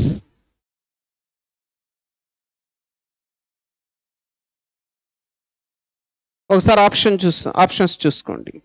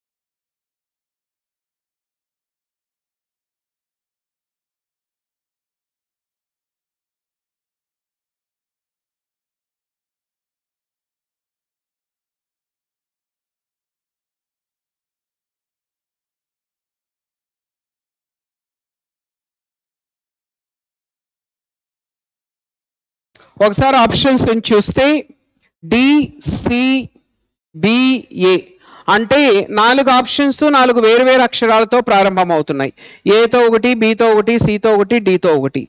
అంటే ప్రారంభ వాక్యం ఓపెనింగ్ సెంటెన్స్ ఏదని కనుక్కుంటే ఆన్సర్ వచ్చేస్తుంది. దేంతో ప్రారంభం అవ్వాలండి ఎక్సలెంట్. ఖచ్చితంగా దీంతో స్టార్ట్ అవ్వాలి. వన్స్ ఒకప్పుడు. క్లియర్గా ఉంది. ఒకప్పుడు an ant who had come to drink at a stream fell into the water and was carried away by the swift of current. ఒకప్పుడు ఏమైందంటే ఒక చీమ నీళ్ళు తాగడానికి వచ్చింది ఒక సెలయేటి దగ్గరికి. తాగుతూ తాగుతూ పొరపాటు నీళ్ళలో పడిపోయి ఆ ప్రవాహంలో కొట్టుకుపోయింది. క్లియర్గా ఉంది. ఓపెనింగ్ సెంటెన్స్కి కావాల్సిన లక్షణాలన్నీ దీనికి ఉన్నాయి. మిగతా ఎందుకు కాదంటే ఏ ఏముంది? A dove perched on a nearby tree saw the ant's danger అంటే అక్కడ పైన చెట్టు పైన ఉన్నటువంటి ఒక డోవు. డోవ్ అంటే ఏంటి? పౌరం. పీజియం అంటాం కదండి. అది దీని పరిస్థితిని చూస్తుంది. దేని? చూడ అంటే ఫస్ట్ పడిన తర్వాత కదా చూస్తుంది. కాబట్టి ఏతో ప్రారంభం అవడానికి లేదు. He was about to fire he అంటే ఎవరు? హీ షీ ఇట్ ఉంటే అది కాదని చెప్పాం మీకు. సో దీన్ని ఎలిమినేట్ చేసేయచ్చు సమ్ టైమ్స్ ఆఫ్టర్ దిస్ దీని తర్వాత దిస్ అంటే దిస్ ఉంటే తీసుకోకూడదని చెప్పాం. సో దీన్ని కూడా ఎలిమినేట్ చేసేస్తాం. అంటే మిగిలిండేది ఇది ఒక్కటే సో ఫస్ట్ ఇది వస్తుంది. Once an ant who had come to drink at a stream fell into the water and was carried away by the swift current so దాని తర్వాత వచ్చింది he was about to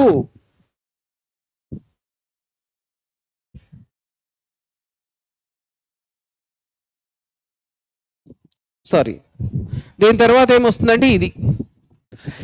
A dove perched on a nearby tree saw the ant's danger and dropped leaf into the water so ఇది నీళ్ళలో మునిగిపోవడం చూసినటువంటి ఆ పావురము ఏం చేస్తుందంటే ఒక ఆకు బెరికి జారవిడుస్తుంది వాటర్లోకి saw the ant's danger and dropped a leaf into the water దీని తర్వాత వచ్చి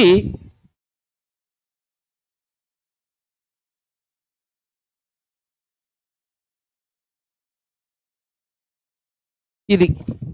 Some times after this a hunter creeping through the bushes saw the dove asleep and took a careful aim with this gun లాస్ట్లో ఇది వస్తుంది. He was about to fire when the ant who was nearby crawled forward and bit him sharply on the ankle so answer వచ్చి three అంటే మనం చిన్నప్పుడు నేర్చుకున్న స్టోరీనే ఇది. So ఏమవుతుంది? ఆ పావురము దీన్ని రక్షిస్తుంది. సో ఈ యాంట్కి కూడా నన్ను రక్షించిందనే కృతజ్ఞత ఉంటుంది.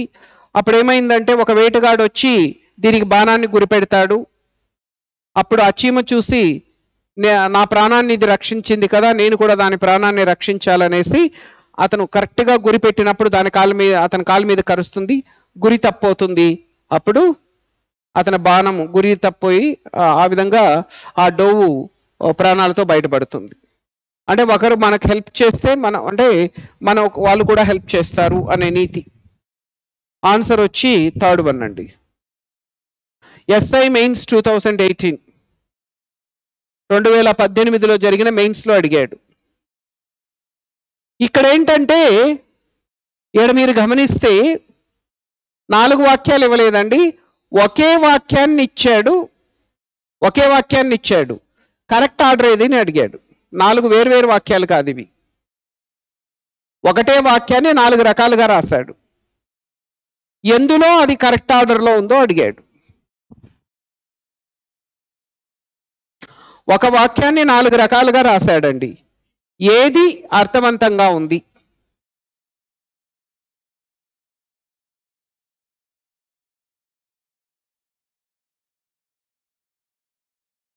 They had to rush to get everything ship shape before the official opening they had to get to రప్ rush ship shape everything before the official opening before the official opening they had to rush to get ship shape before they get to ship shape the official opening everything had to rush చెప్పండి ఏది ఇక్కడ అర్థవంతంగా ఉంది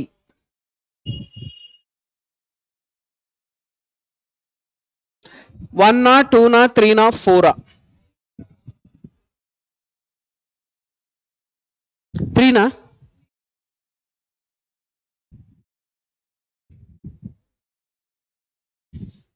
బాగా చూడండి.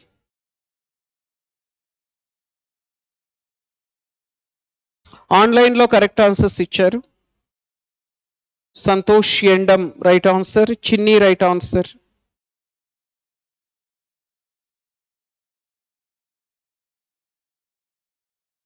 బాగా చూడండి.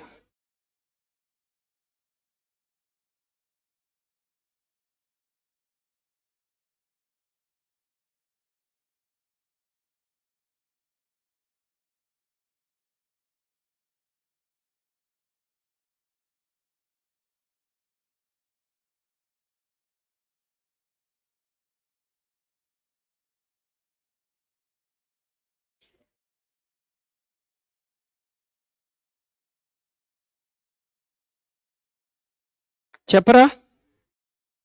Excellent అండి. వన్ కరెక్ట్గా ఉంది. చూడండి. దే హ్యాడ్ టు రష్ వాళ్ళు తొందరపడాల్సి వచ్చింది. దేనికి? To get everything ship shape ship shape అంటే ఒక క్రమ పద్ధతిలో అమర్చుకోవడం. To arrange in a order sequence they had to rush to get everything ship shape before the official opening అఫీషియల్గా ఓపెన్ చేసే ముందు వాళ్ళు దాని మొత్తం ఒక క్రమ పద్ధతిలో అమర్చుకోవాల్సి వచ్చింది. ఇది మాత్రమే మీనింగ్ఫుల్ ఆర్డర్లో ఉంది. షిప్ షేప్ అంటే ఒక క్రమ పద్ధతిలో అమర్చుకోవడం. To arrange in a particular sequence or order మిగతా ఎందుకు కాదంటే they had to get to rush అన్నాడు. Get to rush ship shape ఏంది? బిఫోర్ ద అఫీషియల్ ఓపెనింగ్ ఏదో అని ఇచ్చాడు. కాదు. Before they get to ship shape కాదు. కేవలం ఫస్ట్ వన్ మాత్రమే కరెక్ట్ సీక్వెన్స్లో ఉంది. ఈ మోడల్లో ఈ నాలుగు ప్రశ్నలు ఇచ్చాడండి. టైప్ ఫోర్ ఇంతవరకు చెప్పిన దానికి ఇంకా అడ్వాన్స్డ్ ఇది. ఇంతవరకు చేసిన దాంట్లో మనము నాలుగు వాక్యాలను అరేంజ్ చేసాం ఇక్కడ ఐదు ఇచ్చాడు. ఐ ఏబిసి ఈ కూడా జాయిన్ అయింది. ఇంతవరకు ఏబిసిడి ఉండేవి కదా? ఇప్పుడు ఏబిసిడిఈ ఈ యాడ్ అయింది. కొంచెం డిఫికల్టీ మోడల్ చేయడము. అంటే ప్రాక్టీస్ మీద వస్తుంది మనకి. ప్రయత్నించండి. ప్రయత్నిస్తే పోయేదేం లేదుగా. ట్రై చేయండి. ఐదు వాక్యాలు ఇచ్చాడండి. ఆర్డర్లో అమర్చాలి నాలుగు నుంచి ఐదు. ఇంతవరకు చేసింది నాలుగు అయితే ఇది ఐదు.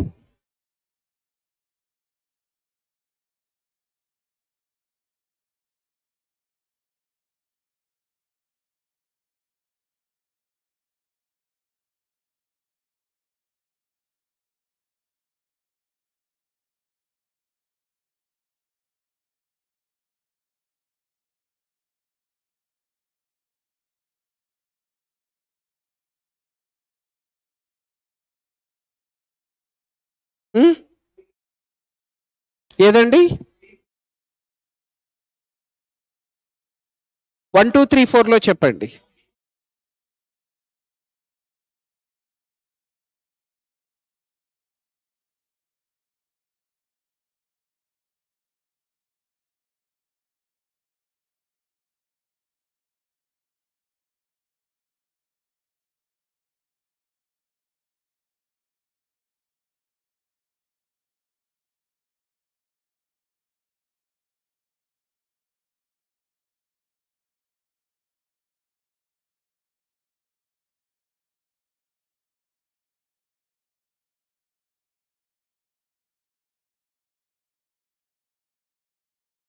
కొంచెం డిఫికల్ట్ ఉంటుంది ఇది.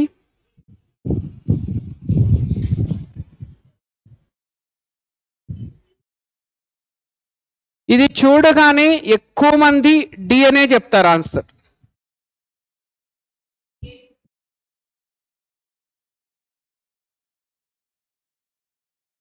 కరెక్ట్ ఆన్సర్ ఇదండి.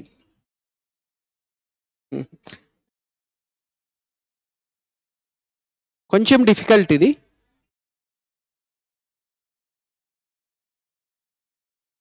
మ్యాండేటరీ పేర్స్ చూసుకుంటే తెలుస్తుంది మీకు. చూడండి. ఎందుకంటే until the first flyby of Mars occurred in 1965. Many speculated about the presence of liquid water on the planet surface Mars మీదకి మొట్టమొదటిసారిగా పంతొమ్మిది వందల అరవై ఐదులో వెళ్ళారు. ఉపగ్రహాలను పంపించడమో ఏదో చేశారు. అప్పటి నుంచి కూడా అక్కడ మార్స్ మీద వాటర్ ఉంది అనే ఊహాగానాలు మొదలయ్యాయి. ఇది ఫస్ట్ వన్. దీని తర్వాత ఇది అసలు వాటర్ ఉందనే డౌట్ ఊహాగానాలు ఎందుకు మొదలయ్యాయంటే this was based on observed periodic variations in light and dark patches particularly in the polar latitudes which appear to be seas and continents ఉపగ్రహాన్ని పంపించినప్పుడు అది ఫోటోలు తీసి పంపిస్తుంది కదా.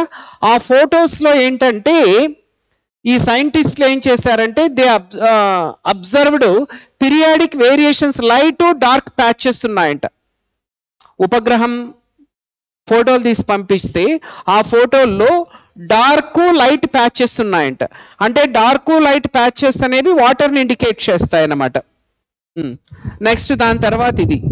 Long dark striations were interpreted by some as irrigation channels for liquid water ఆ dark light కలర్లో ఉండేటువంటి ఆ ప్యాచెస్ని వీళ్ళు వాటర్ లిక్విడ్ వాటర్ ఉన్న దానికి ఆనవాళ్ళుగా భావించారు. Next these straight the features were later explained as optical illusions లాస్ట్లో ఇది వస్తుంది. Mars is the most likely among all the planets in the solar system other than Earth to harbour liquid water and thus to harbour life so కేవలం Mars మీద మాత్రమే water ఉండడానికి అవకాశం ఉంది. మిగతా వేరే అంటే భూమి కాకుండా మిగతా గ్రహాల్లో కేవలం మార్స్ మీద మాత్రమే వాటర్ ఉండడానికి అవకాశం ఉంది. మిగతా ఎక్కడ ఉండడానికి అవకాశం లేదు. కొంచెం డిఫికల్ట్ వన్ ఇది. ఎందుకంటే మ్యాండేటరీ పేస్ చూసుకుంటే తప్ప తెలియదు మీకు. ఎందుకంటే ఫస్ట్ మార్స్ ఉంది కదా అని అందరూ ఏతోనే స్టార్ట్ చేస్తారు. ఏ తీసుకుంటే మీకు సీక్వెన్స్ రాదు.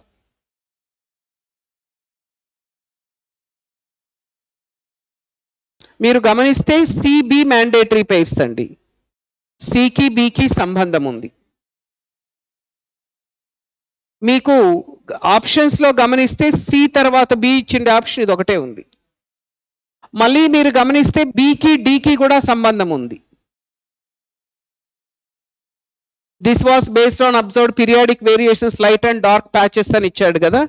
దీని తర్వాత మళ్ళీ డీలో long straight long dark striations were interpreted అలా. ఓకే నెక్స్ట్ ఇది ఈజీగానే ఉంది. చేయండి. ఇరవై రెండు.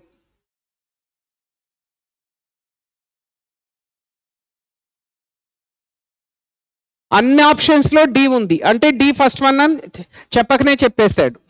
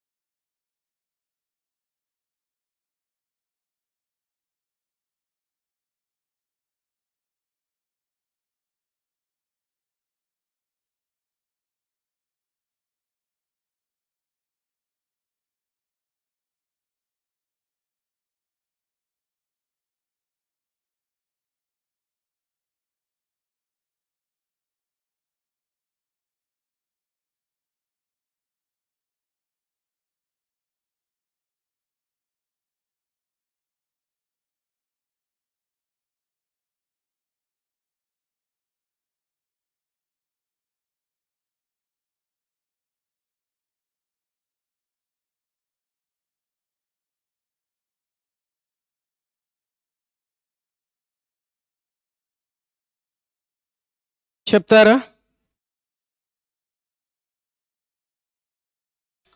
ఒకటే రెండా మూడా నాలుగా?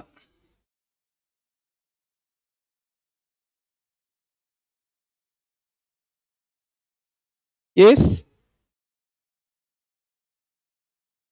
అన్ని డీతోనే స్టార్ట్ అవుతున్నాయి. మూడిట్లో డి తర్వాత ఏ ఉంది? అంటే డి డి తర్వాత ఏ రావాలని స్పష్టంగా అర్థమవుతుంది. మిగతా మూడిటి పొజిషన్స్ తెలిస్తే ఆన్సర్ తెలిసిపోయింది. డిఏ వరకు అయితే పక్క. డి రావాలి డి తర్వాత ఏ రావాలి?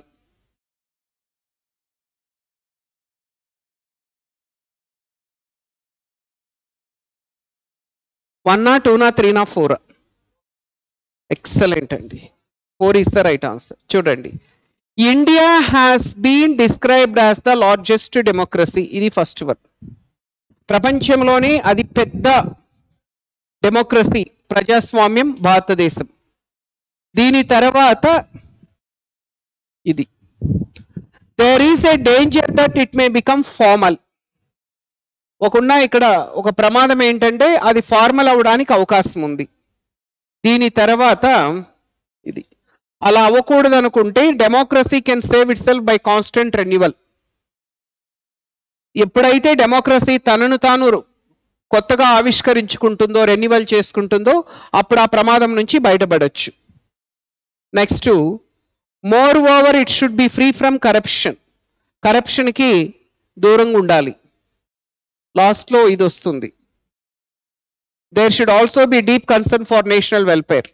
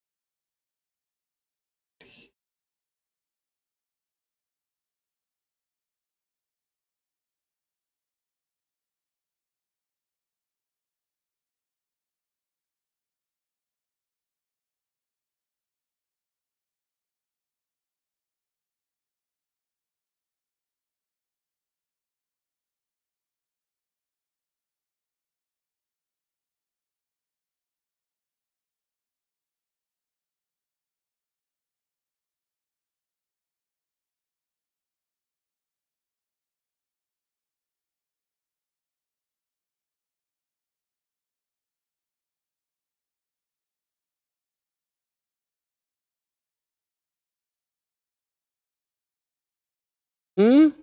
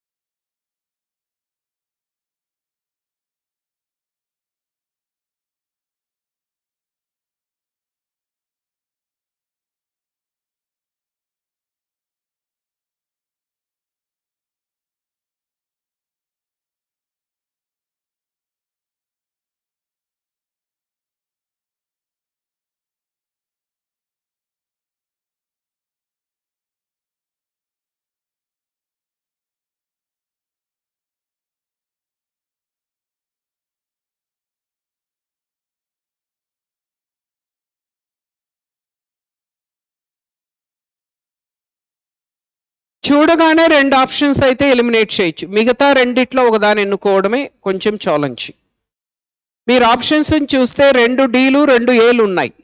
స్టార్టింగ్లో డి వస్తుందా ఏ వస్తుందా కనుక్కుంటే రెండు ఆప్షన్స్ ఎలిమినేట్ చేసేయచ్చు. డితో స్టార్ట్ అవుతుందా ఏతో స్టార్ట్ అవుతుందా? ఏతో ఎట్టి పరిస్థితిలో స్టార్ట్ అవుతుంది? ఎందుకంటే స్టార్టింగ్లోనే దే ఉంది. దే అంటే ఎవరు?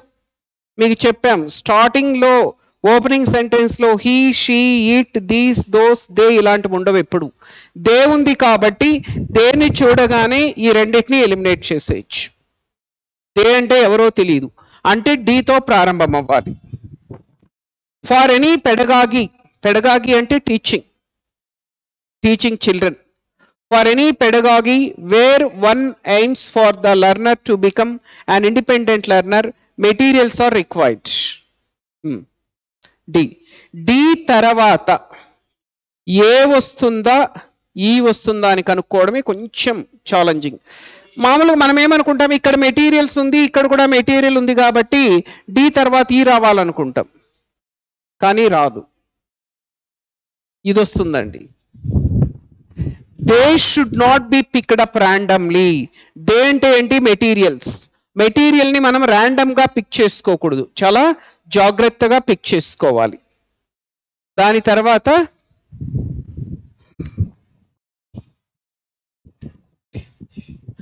ఈ each material acts as a teacher and there will be as many teacher as there sets of material అంటే ఒక్కొక్క మెటీరియల్ ఒక్కొక్క టీచర్ లాగా యాక్ట్ చేస్తుంది.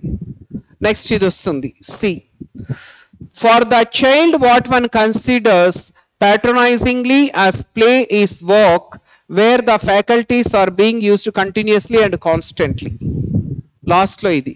Thus they play a crucial role in the curriculum. So answer is A. D A E C B.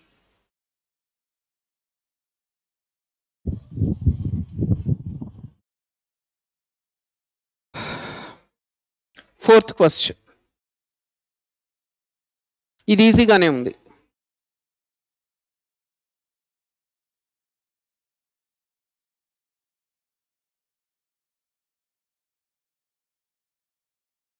Super super. ఒకసారి options గమనిస్తే ఒకటి ఏ ఒకటి B ఒకటి సి ఒకటి డితో స్టార్ట్ అవుతా ఉంది. స్టార్టింగ్ సెంటెన్స్ ఏనా బీనా సీనా డీనా చూసుకుంటే ఆన్సర్ వచ్చేస్తుంది. దేంతో స్టార్ట్ అవుతుందండి? ఎక్సలెంట్.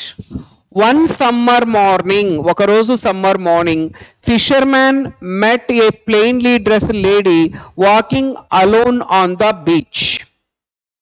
ఒకరోజు సమ్మర్ ఈవినింగ్ ఒక ఫిషర్ మ్యాన్ చేపలు పట్టే వ్యక్తి ప్లెయిన్ డ్రెస్ వేసుకున్న వేసుకొని బీచ్లో నడుస్తున్నటువంటి ఒక లేడీని కలిశాడు. ఖచ్చితంగా బీతోనే ప్రారంభం అవ్వాలి మిగతా ఎందుకు కాదో చూద్దాం ఒకసారి. ఇక్కడ స్టార్టింగ్లోనే హీ ఉంది. హీ అంటే ఎవరో తెలియదు కాబట్టి ఏతో స్టార్ట్ అయిన ఆప్షన్ ఇది ఉంది కదా దీన్ని ఎలిమినేట్ చేసేయచ్చు. స్టార్టింగ్లోనే హీ రాదు. Next did you ever see the duchess asked the lady ఆమె అడిగింది నువ్వు ఎప్పుడైనా డచ్ ఆమె ఎవరిని అడిగింది? తెలియదు సో సీతో స్టార్ట్ అవడానికి ఛాన్స్ లేదు. నెక్స్ట్ వచ్చి in that case give me the petition said the questioner అయితే నాకు పిటిషన్ ఇవ్వు. ఎవరిని అడిగింది? తెలీదు. అంటే ఖచ్చితంగా ఇదే అవ్వాలి. ఇప్పుడు చూడండి one summer evening fisherman met a plainly dress lady walking alone on the beach one దాని తర్వాత వచ్చి ఇది two he met her saying he అంటే ఎవరు? ఫిషర్ మ్యాన్ మ్యాండేటరీ పేర్ ఈ రెండు. అతను ఆమెతో చెప్తాడు he had a petition which he wanted to present to the duchess నేను ఒక అర్జీ ఇవ్వాలి డచెస్ని కలిసి యువరాణిని కలి కలిసి నేను ఒక తనకి ఒక విన్నపం ఒక అర్జీని ఇవ్వాలి అంటాడు. Next C. Did you ever see the duchess asked the lady నువ్వు ఎప్పుడైనా డచెస్ని చూసావా? అని ఆమె అడుగుతుంది. ప్రశ్న అడిగితే దానికి ఎస్తానో నోనో సమాధానం వస్తుంది కదా? No was the answer but I'm told she is very ugly నేను ఎప్పుడూ చూడలేదు కానీ నాకెవరో చెప్పారు ఆమె చాలా అందవికారంగా ఉంటుందని. In that case give me the petition said the questioner అయితే నాకివ్వు నీ అప్లికేషన్ నేను డచెస్కి ఇస్తాను అని ఆమన్నది. అంటే ఆన్సర్ వచ్చి బి ట్వంటీ ఫైవ్ వావ్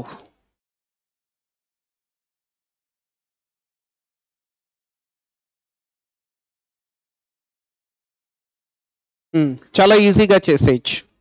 ఎందుకంటే ఒకటి ఏ ఒకటి బి ఒకటి సి ఒకటి డితో స్టార్ట్ అవుతా ఉంది. ఓపెనింగ్ సెంటెన్స్ కనుక్కుంటే ఆన్సర్ వచ్చేస్తుంది. ఇక్కడ స్టార్టింగ్లోనే అంటుంది కాబట్టి ఏతో ప్రారంభం అవడానికి అవకాశం లేదు. ఇక్కడ కూడా అంటుంది కాబట్టి సితో స్టార్ట్ అవడానికి అవకాశం లేదు. నెక్స్ట్ ఇక్కడ హీ ఉంది కాబట్టి డి కాదు. అంటే ఇవేవి కాదంటే ఖచ్చితంగా ఇదే అవ్వాలి. చూడగానే ఆన్సర్ చెప్పేయచ్చు. ఫస్ట్ బితో ప్రారంభం అవుతుంది. పిగ్మాలియన్ ఇది one. Pygmalion was a sculptor who lived on the island of Cyprus తర్వాత వచ్చి ఇది. For many years he had worked with great labour next ఇది. And at the last he could use chisel like a master next this is four this is five ఇది చూడగానే చెప్పేయచ్చు. ఇరవై ఆరు. Wow wow wow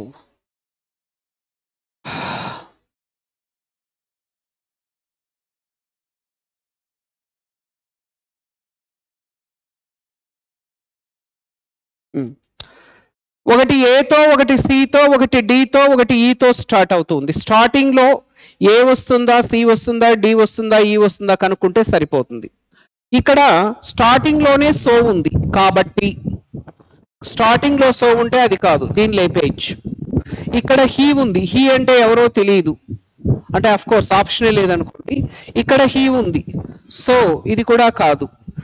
ఇక్కడ కూడా he ఉంది ఇది కూడా కాదు. అంటే మూడు ఎలిమినేట్ చేసేసాం కాబట్టి మిగిలిండేది ఇదే. A servant might not always be a trustworthy fellow. ఒక సర్వెంట్ ఎప్పుడూ కూడా నమ్మదగిన వ్యక్తి అవ్వాల్సిన అవసరం లేదు. ఇది వన్ అవుతుంది దాని తర్వాత ఇది టూ అవుతుంది. ఇది త్రీ ఇది ఫోర్ ఇది ఫైవ్ అంటే రివర్స్ ఆర్డర్లో ఉంది. ఏబిసిడిఈ ఇలా కింద నుంచి పైకి చదివితే సరిపోతుంది.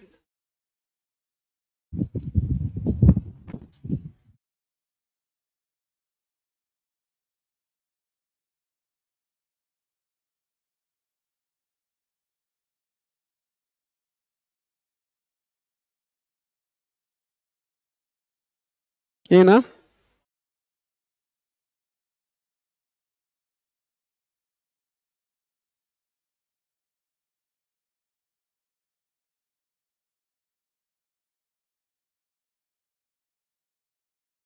ఇది కూడా ఈజీగా చేసేయచ్చు కదా?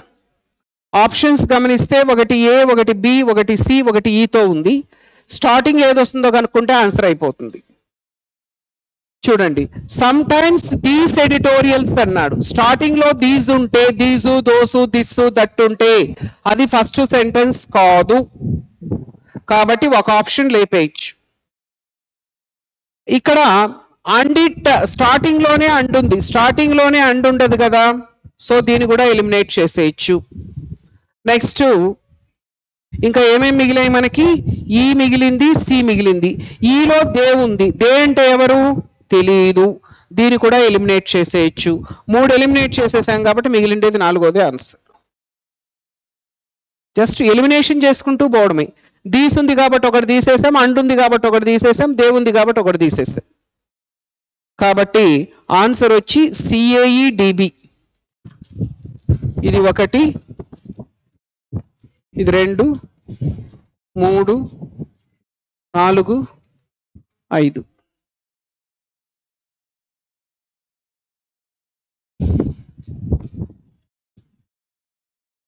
Telangana state police constable prelims two thousand sixteen.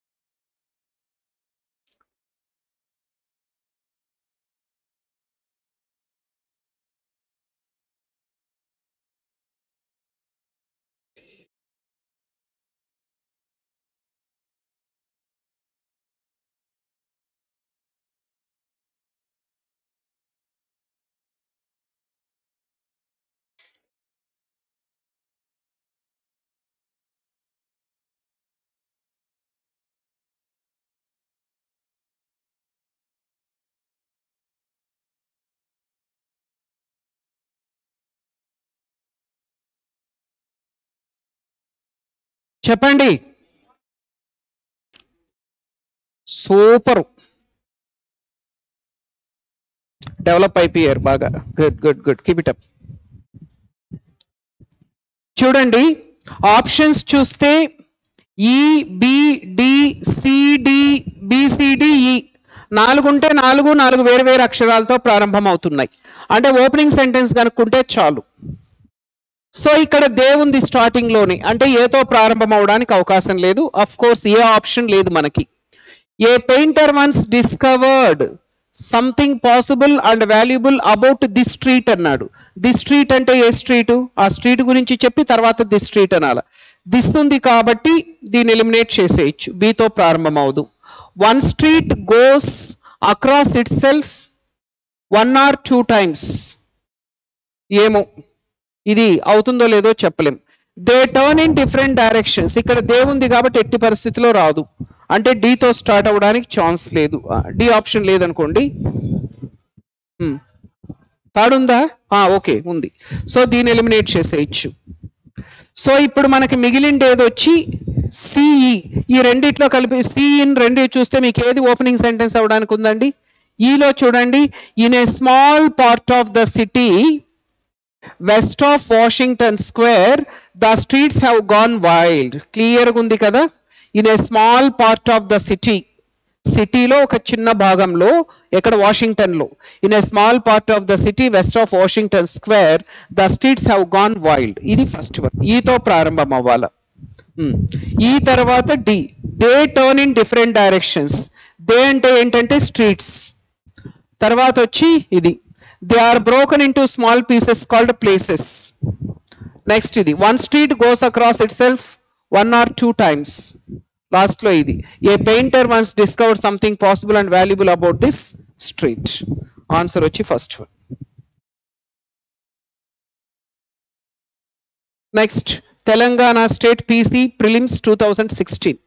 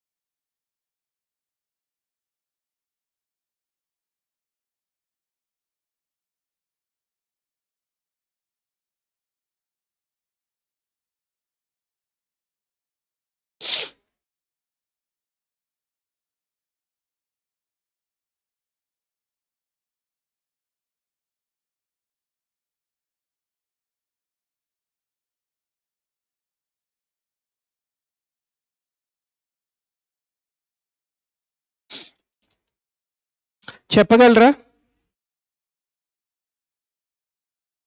వన్నా? కానీ డీతో ఎలా స్టార్ట్ అవుతుంది? సెకండ్ విషన్ అంటున్నాడు ఇక్కడ. సెకండ్ విజన్తో ఎలా స్టార్ట్ అవుతుంది? ఫస్ట్ ఏదో ఫస్ట్ విషన్ ఉండి తర్వాత సెకండ్ విషన్ వస్తుంది కదా. రెండు డీలు ఉన్నాయి కానీ D స్టేట్మెంట్లోనేమో second vision for India's development అన్నాడు. ఫస్ట్ ఏదో చెప్పి నెక్స్ట్ సెకండ్ విజన్ అంటారు కాబట్టి ఇది ట్రాప్ ఇది మనకి. మనల్ని మోసం చేయడానికి మిస్లీడ్ చేయడానికి ఇచ్చాడు.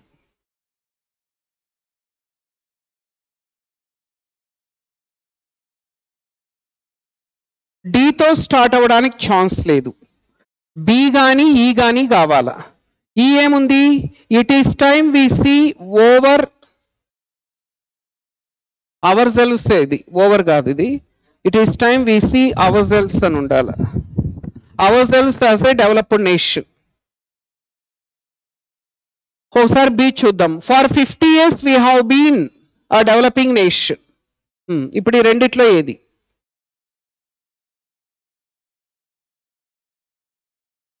ఫస్ట్ ఇది వస్తుందండి. యాభై సంవత్సరాలుగా మనము డెవలపింగ్ నేషన్ ఇంకా డెవలప్ అవుతూనే ఉన్నాం. అభివృద్ధి చెందుతున్న దేశం. దీని తర్వాత ఇది వస్తుంది. We have ten percent growth rate in most areas ten percent growth rate ఉంది. Our poverty levels are falling పేదరికం తగ్గుతూ ఉంది. తర్వాత ఇది. My second version is for India's development నా రెండవ లక్ష్యమే విజన్ ఏంటంటే ఇండియాస్ ఇండియా యొక్క development next it is time we see ourselves as developed nation మనము మనల్ని మనం అభివృద్ధి చెందిన దేశంగా చూడాలి నెక్స్ట్ ఇది లాస్ట్లో వస్తుంది we are among the top five nations of the world in terms of GDP GDP తీసుకుంటే ప్రపంచంలోనే టాప్ ఫైవ్ కంట్రీస్లో మనం కూడా ఒకరు. కాబట్టి బిఏడిఈసి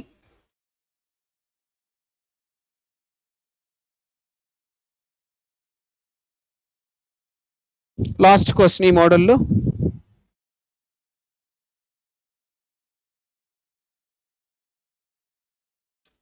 Telangana prelims two thousand eighteen constable.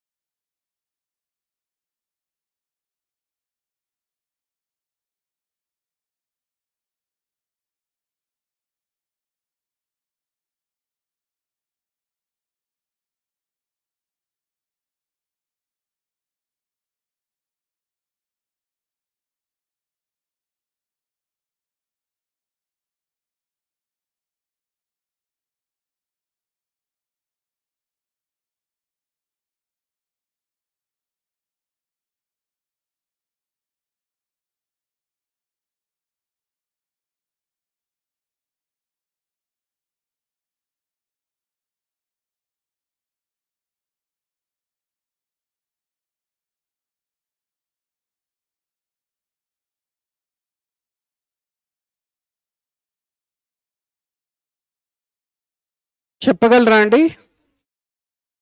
టూనా?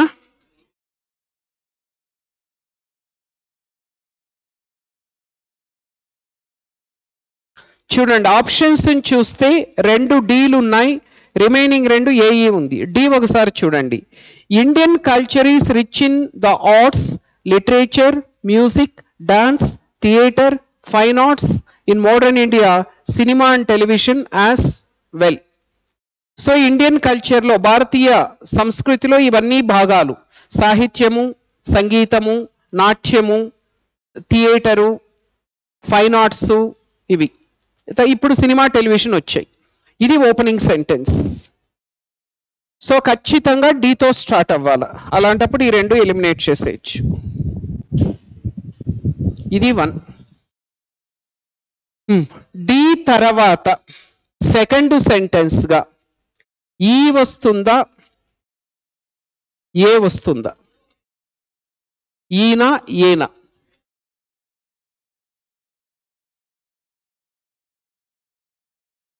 A వస్తుందండి? ఇది టూ అంటే భారతీయ సంస్కృతిలో ఇవన్నీ భాగం అని చెప్తూ మ్యూజిక్ గురించి చెప్తున్నాడు. Music is perhaps the most popular of all the arts. అన్ని ఇక్కడున్న అన్నింటిలోకి మ్యూజిక్ సంగీతం అనేది చాలా పాపులర్ ప్రసిద్ధి చెందినది. And we find that classical Indian music continues its tradition so మన క్లాసికల్ ఇండియన్ మ్యూజిక్ అనేది తన ట్రెడిషన్ని కంటిన్యూ చేస్తూ ఉంది. Hmm. దీని తర్వాత ఈ మ్యూ- మ్యూజిక్ గురించి చెప్తూ మ్యూజిక్లో రెండు రకాలు ఉంటాయని చెప్తున్నాడు. The two main types of music in India are the north Indian Hindustani and the south Indian Carnatic north Indian Hindustani music ఉంటుంది సౌత్ ఇండియన్ కర్ణాటక మ్యూజిక్ ఉంటుంది మ్యూజిక్ గురించి చెప్పాడు మ్యూజిక్లో రెండు రకాలు ఉంటాయని చెప్పాడు డిఏఈ తర్వాత both have deep traditions and changes only happen gradually both అంటే ఏంటి? ఇదే ఈ రెండు రకాల మ్యూజిక్ల గురించి చెప్పాడు కదా వాటి గురించి.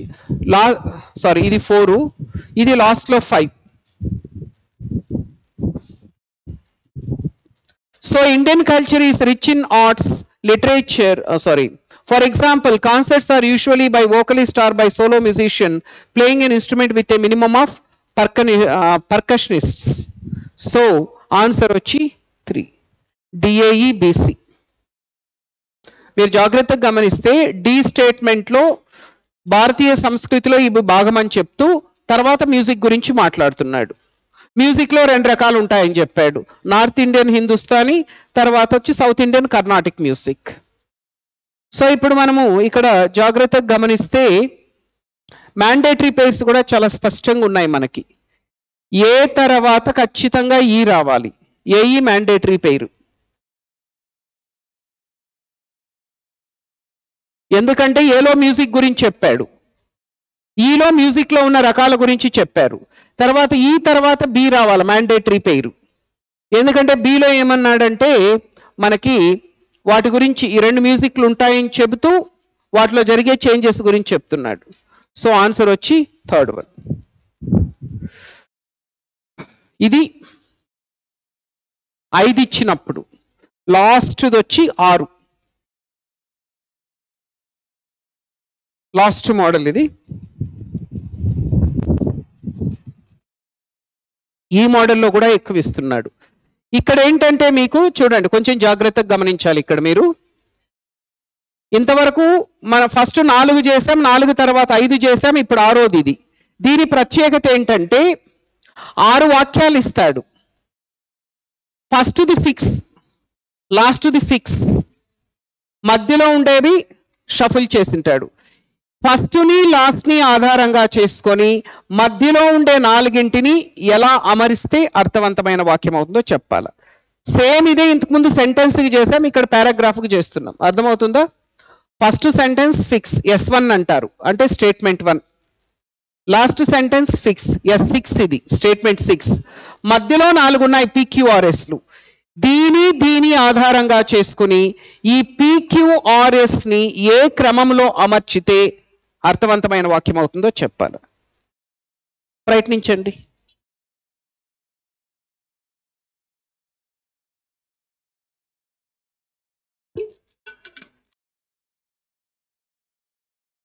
చిన్న బ్రేక్ తీసుకుంటారా?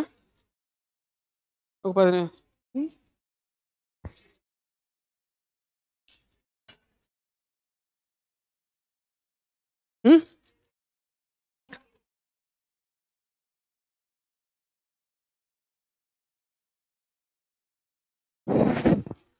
సరే ఒక కనీసం ఒక ఫైవ్ సిక్స్ క్వశ్చన్స్ చెప్తాను తర్వాత మళ్ళీ చెప్తా మళ్ళీ చూద్దాం. ఎందుకంటే రేపు టెస్ట్లో రేపు వీకెండ్ టెస్ట్ ఉంది కదా సాటర్డే సాటర్డే ఈ మోడల్ కూడా ఉంది రేపు టెస్ట్లో అందుకని కనీసం ఒక ఫోర్ ఫైవ్ చెప్ సేమ్ ఇంతవరకు చేసినట్టే చేస్తాము. జస్ట్ ఒక నాలుగైదు క్వశ్చన్లు చెప్తే మీకు ఐడియా వస్తుంది. తర్వాత మిగిలిన క్వశ్చన్స్ నెక్స్ట్ వీక్లో చెప్తాను. Nalanda became India's famous centre of education అని ఇచ్చాడు. అది S one he stayed there for several years అని ఇచ్చాడు ఎస్ సిక్స్ ఈ మధ్యలో ఉండే వాటిని ఏ క్రమంలో అమర్చాలి?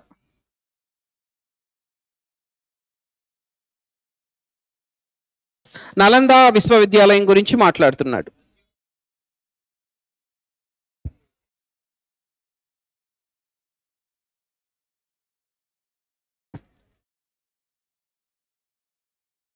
ఆన్సర్ చెప్పగలరా ఎవరైనా? వన్నా టూనా త్రీనా ఫోరా చించేశారండి ఎవరు. బాబా బాబా కేక. త్రీ. ఈడొక చిన్న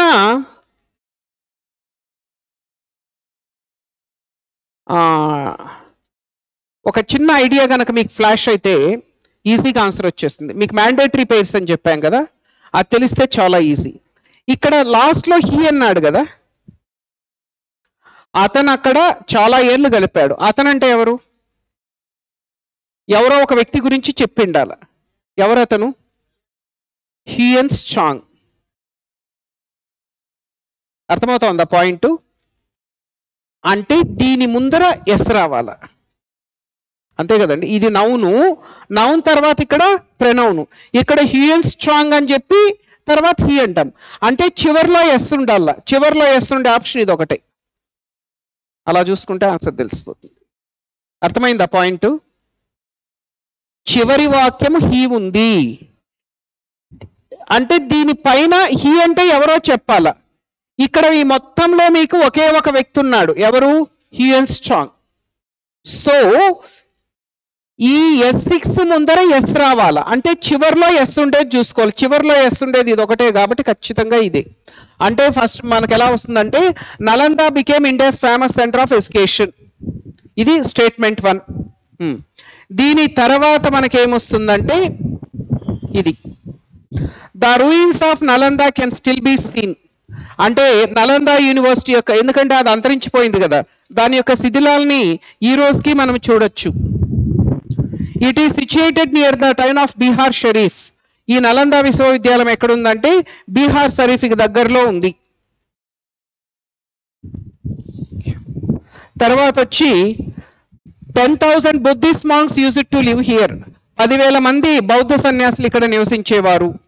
It was visited by Hiuen Chinese pilgrim China యాత్రికుడు హియన్ strong దీన్ని సందర్శించాడు. He stayed there for several years చాలా సంవత్సరాలు అతను అక్కడ స్టే చేశాడు. అంటే ఇక్కడ హీ అంటే ఎవరంటే హ్యూయన్ స్ట్రాంగ్ అంటే చివరిలో ఎస్ వచ్చిండే ఆప్షన్ అదొకటే కాబట్టి ఆన్సర్ వచ్చి త్రీ సెకండ్ వన్ ప్రయత్నించండి.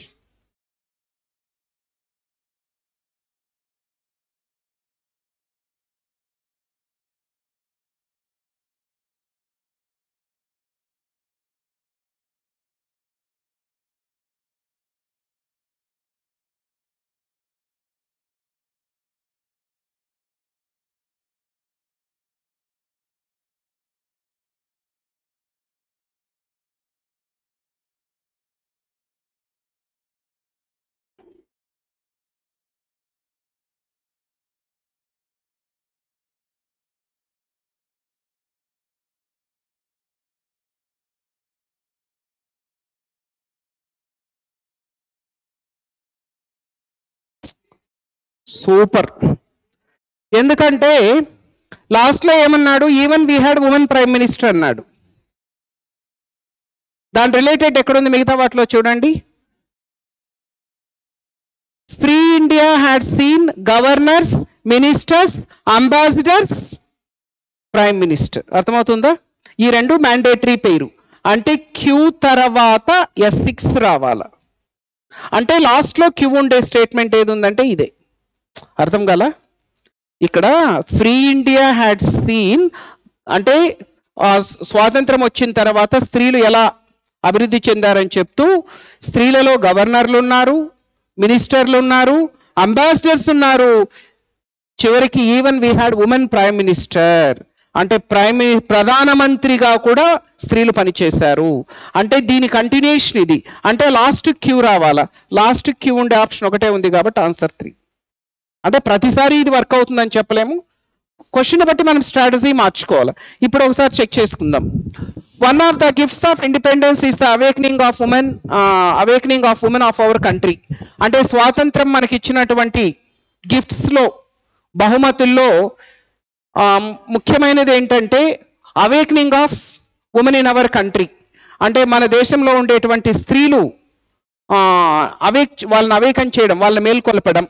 అది ఫస్ట్ దాని తర్వాత వచ్చి ఇదండి. Women have bright future in independent India స్వాతంత్ర భారతదేశంలో ఉమెన్కి చాలా బ్రైట్ ఫ్యూచర్ ఉంది. ఓకే? దీని తర్వాత ఇది. Or that is our government is making efforts to raise their status వాళ్ళ స్టేటస్ని పెంచడానికి ప్రభుత్వం చర్యలు తీసుకుంటూ ఉంది. నెక్స్ట్ ఇది. Besides the talent is recognised and they are appointed to high post in the state వాళ్ళ టాలెంట్ని గుర్తించడమే కాకుండా వాళ్ళని ఉన్నతమైన పదవుల్లో నియమిస్తున్నారు. నెక్స్ట్ ఇది. Free India has seen women governors ministers and ambassadors లాస్ట్లో even we had women prime minister answer వచ్చి త్రీ థర్టీ త్రీ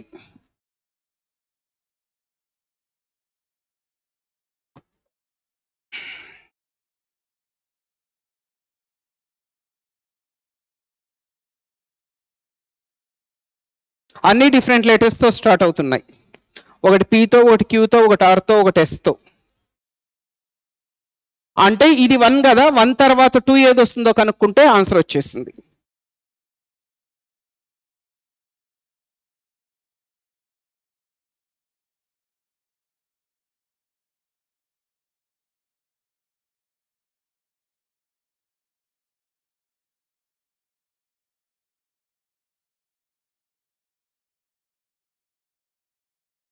చెప్తారా అండి చించేశారు. సూపర్.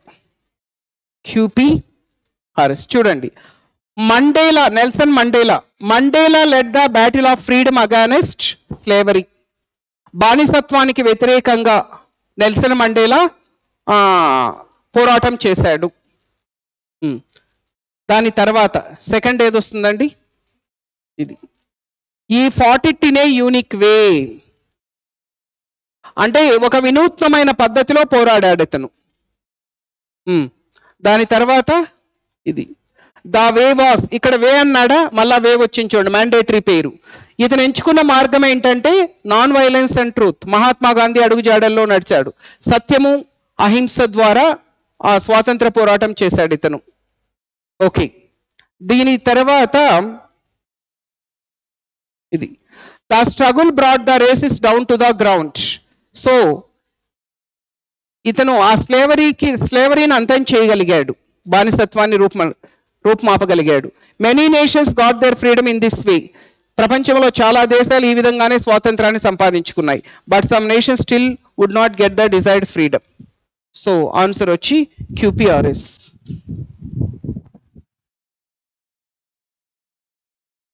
ముప్పై నాలుగు. ఓ ఇంత స్పీడా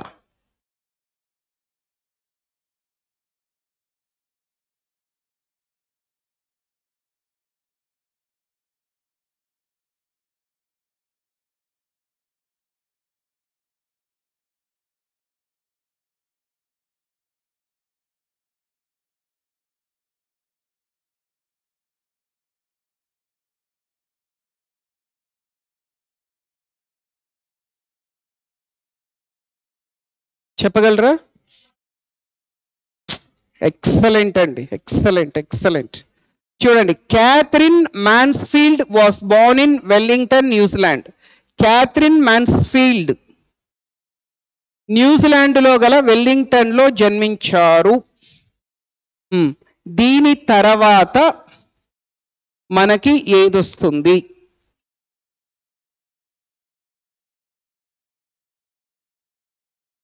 దీని తర్వాత ఇది వస్తుందండి she was sent to Queen's College school London in her fifteenth year to finish her education ఈమెను షీ వాస్ సెంట్ పంపబడింది. క్వీన్స్ కాలేజ్ స్కూల్ లండన్లో ఉన్నటువంటి క్వీన్స్ కాలేజ్ స్కూల్కి పంపబడింది. తన పదిహేనవ ఏట తన స్టడీస్ని ఫినిష్ చేయడం కోసం. దీని తర్వాత ఇది. She remained there for four years అక్కడ నాలుగేళ్ళు ఉండింది ఆమె. ఎక్కడ అంటే లండన్లో రైట్ hmm. దాని తర్వాత soon after returning to New Zealand she became dissatisfied నాలుగేళ్ళు ఉండి తర్వాత న్యూజిలాండ్కి తిరిగి వచ్చింది. కానీ ఎందుకో బాగా డిసప్పాయింట్ అయిపోయింది. Hmm. నెక్స్ట్ ఇది. In nineteen nought eight she went back to the London మళ్ళీ పంతొమ్మిది వందల ఎనిమిదిలో లండన్కి వెళ్ళించింది which she felt to be her spiritual home ఇంకా అదే తన హోమ్ టౌన్ అనుకొని అక్కడే ఉండిపోయింది. She hope to make a literary career over there so correct answer వచ్చి QRSP answer is one QRSP ముప్పై ఐదు.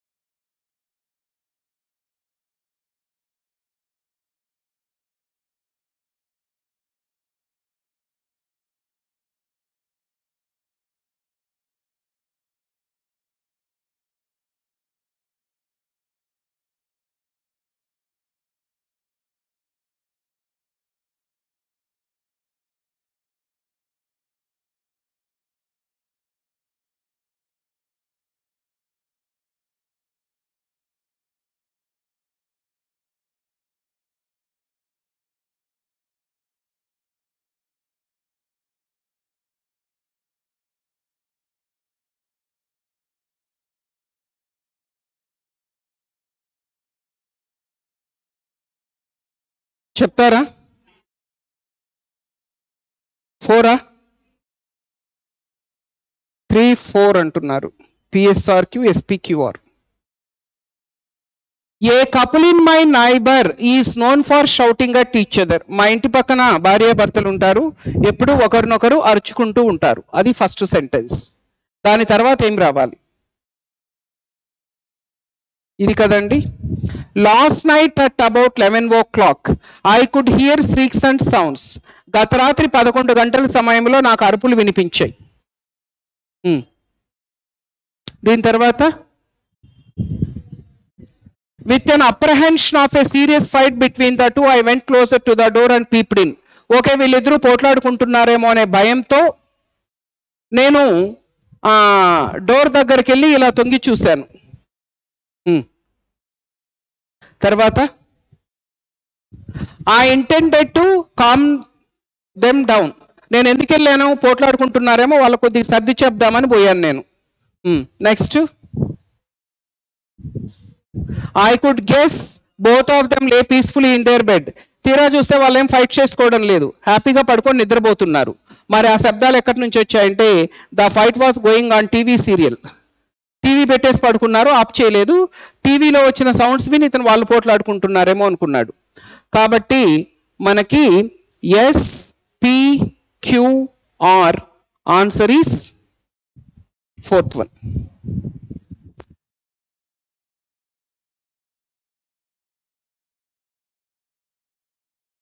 ముప్పై ఆరు.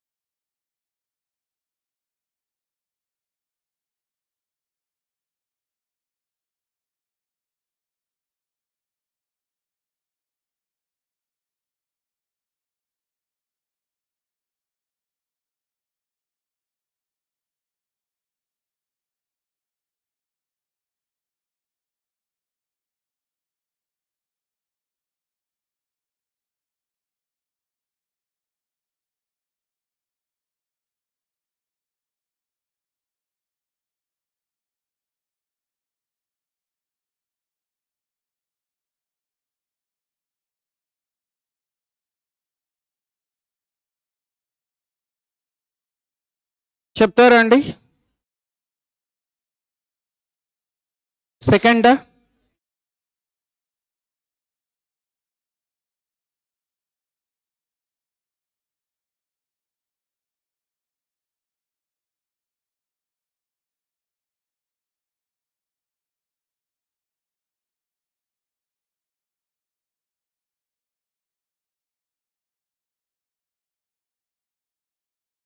Hmm.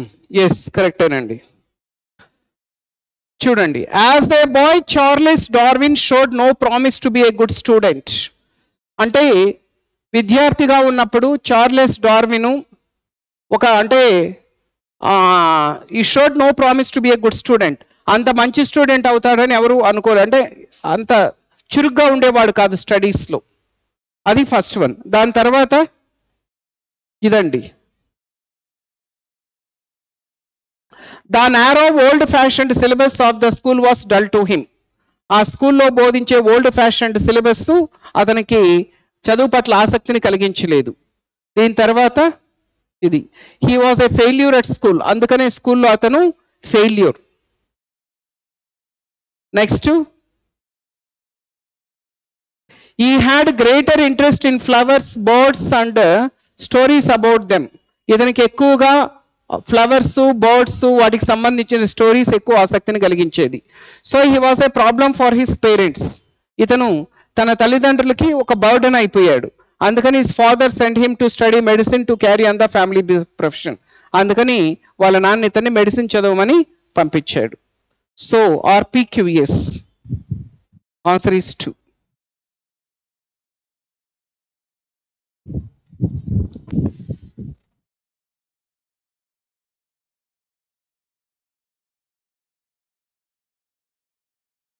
Archimedes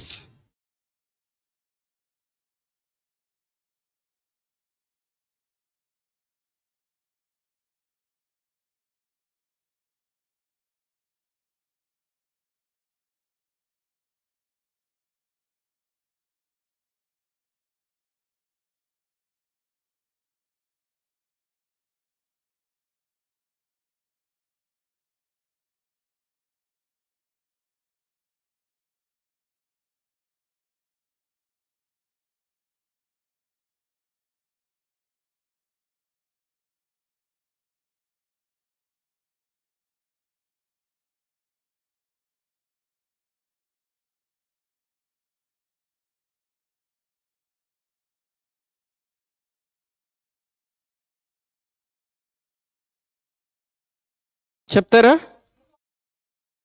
చించేశారు. సూపర్. చూడండి Archimedes was a famous Greek Greek mathematician physicist and inventor. Archimedes వచ్చి ప్రసిద్ధ Greek మ్యాథమెటిషియను ఫిజిస్టు inventor. ఇది. దీని తర్వాత ఏమొస్తుందండి? ఇది. King Hieron had doubts about Archimedes claim that he could lift great weights with his with the help of pulleys. అప్పట్లో ఒక రాజు ఉండేవాడు హీరన్ అని. సో ఆర్కిమెడీస్ ఏంటంటే ఎంత బరువైన వస్తువులనైనా పుల్లీస్ను ఉపయోగించి ఈజీగా సులభంగా ఎత్తచ్చు అని ఇతను చెబితే రాజు నమ్మలేదు. దాని తర్వాత ఇది. To prove him right Archimedes constructed a multiple pulley so ఇది నిజమని నిరూపించడం కోసం ఆర్కిమెడీస్ ఏం చేశాడంటే మల్టిపుల్ పుల్లీస్ని కన్స్ట్రక్ట్ చేయించాడు.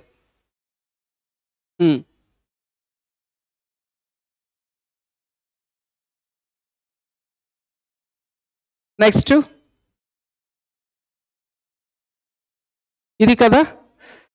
Then he attached one end of the rope over to it heavily laden ship so ఒక చివరన ఏం చేశాడంటే ఆ రోప్ ఉంటుంది కదా తాడుకి ఒక చివర ఆ షిప్పుకి తగిలించాడు.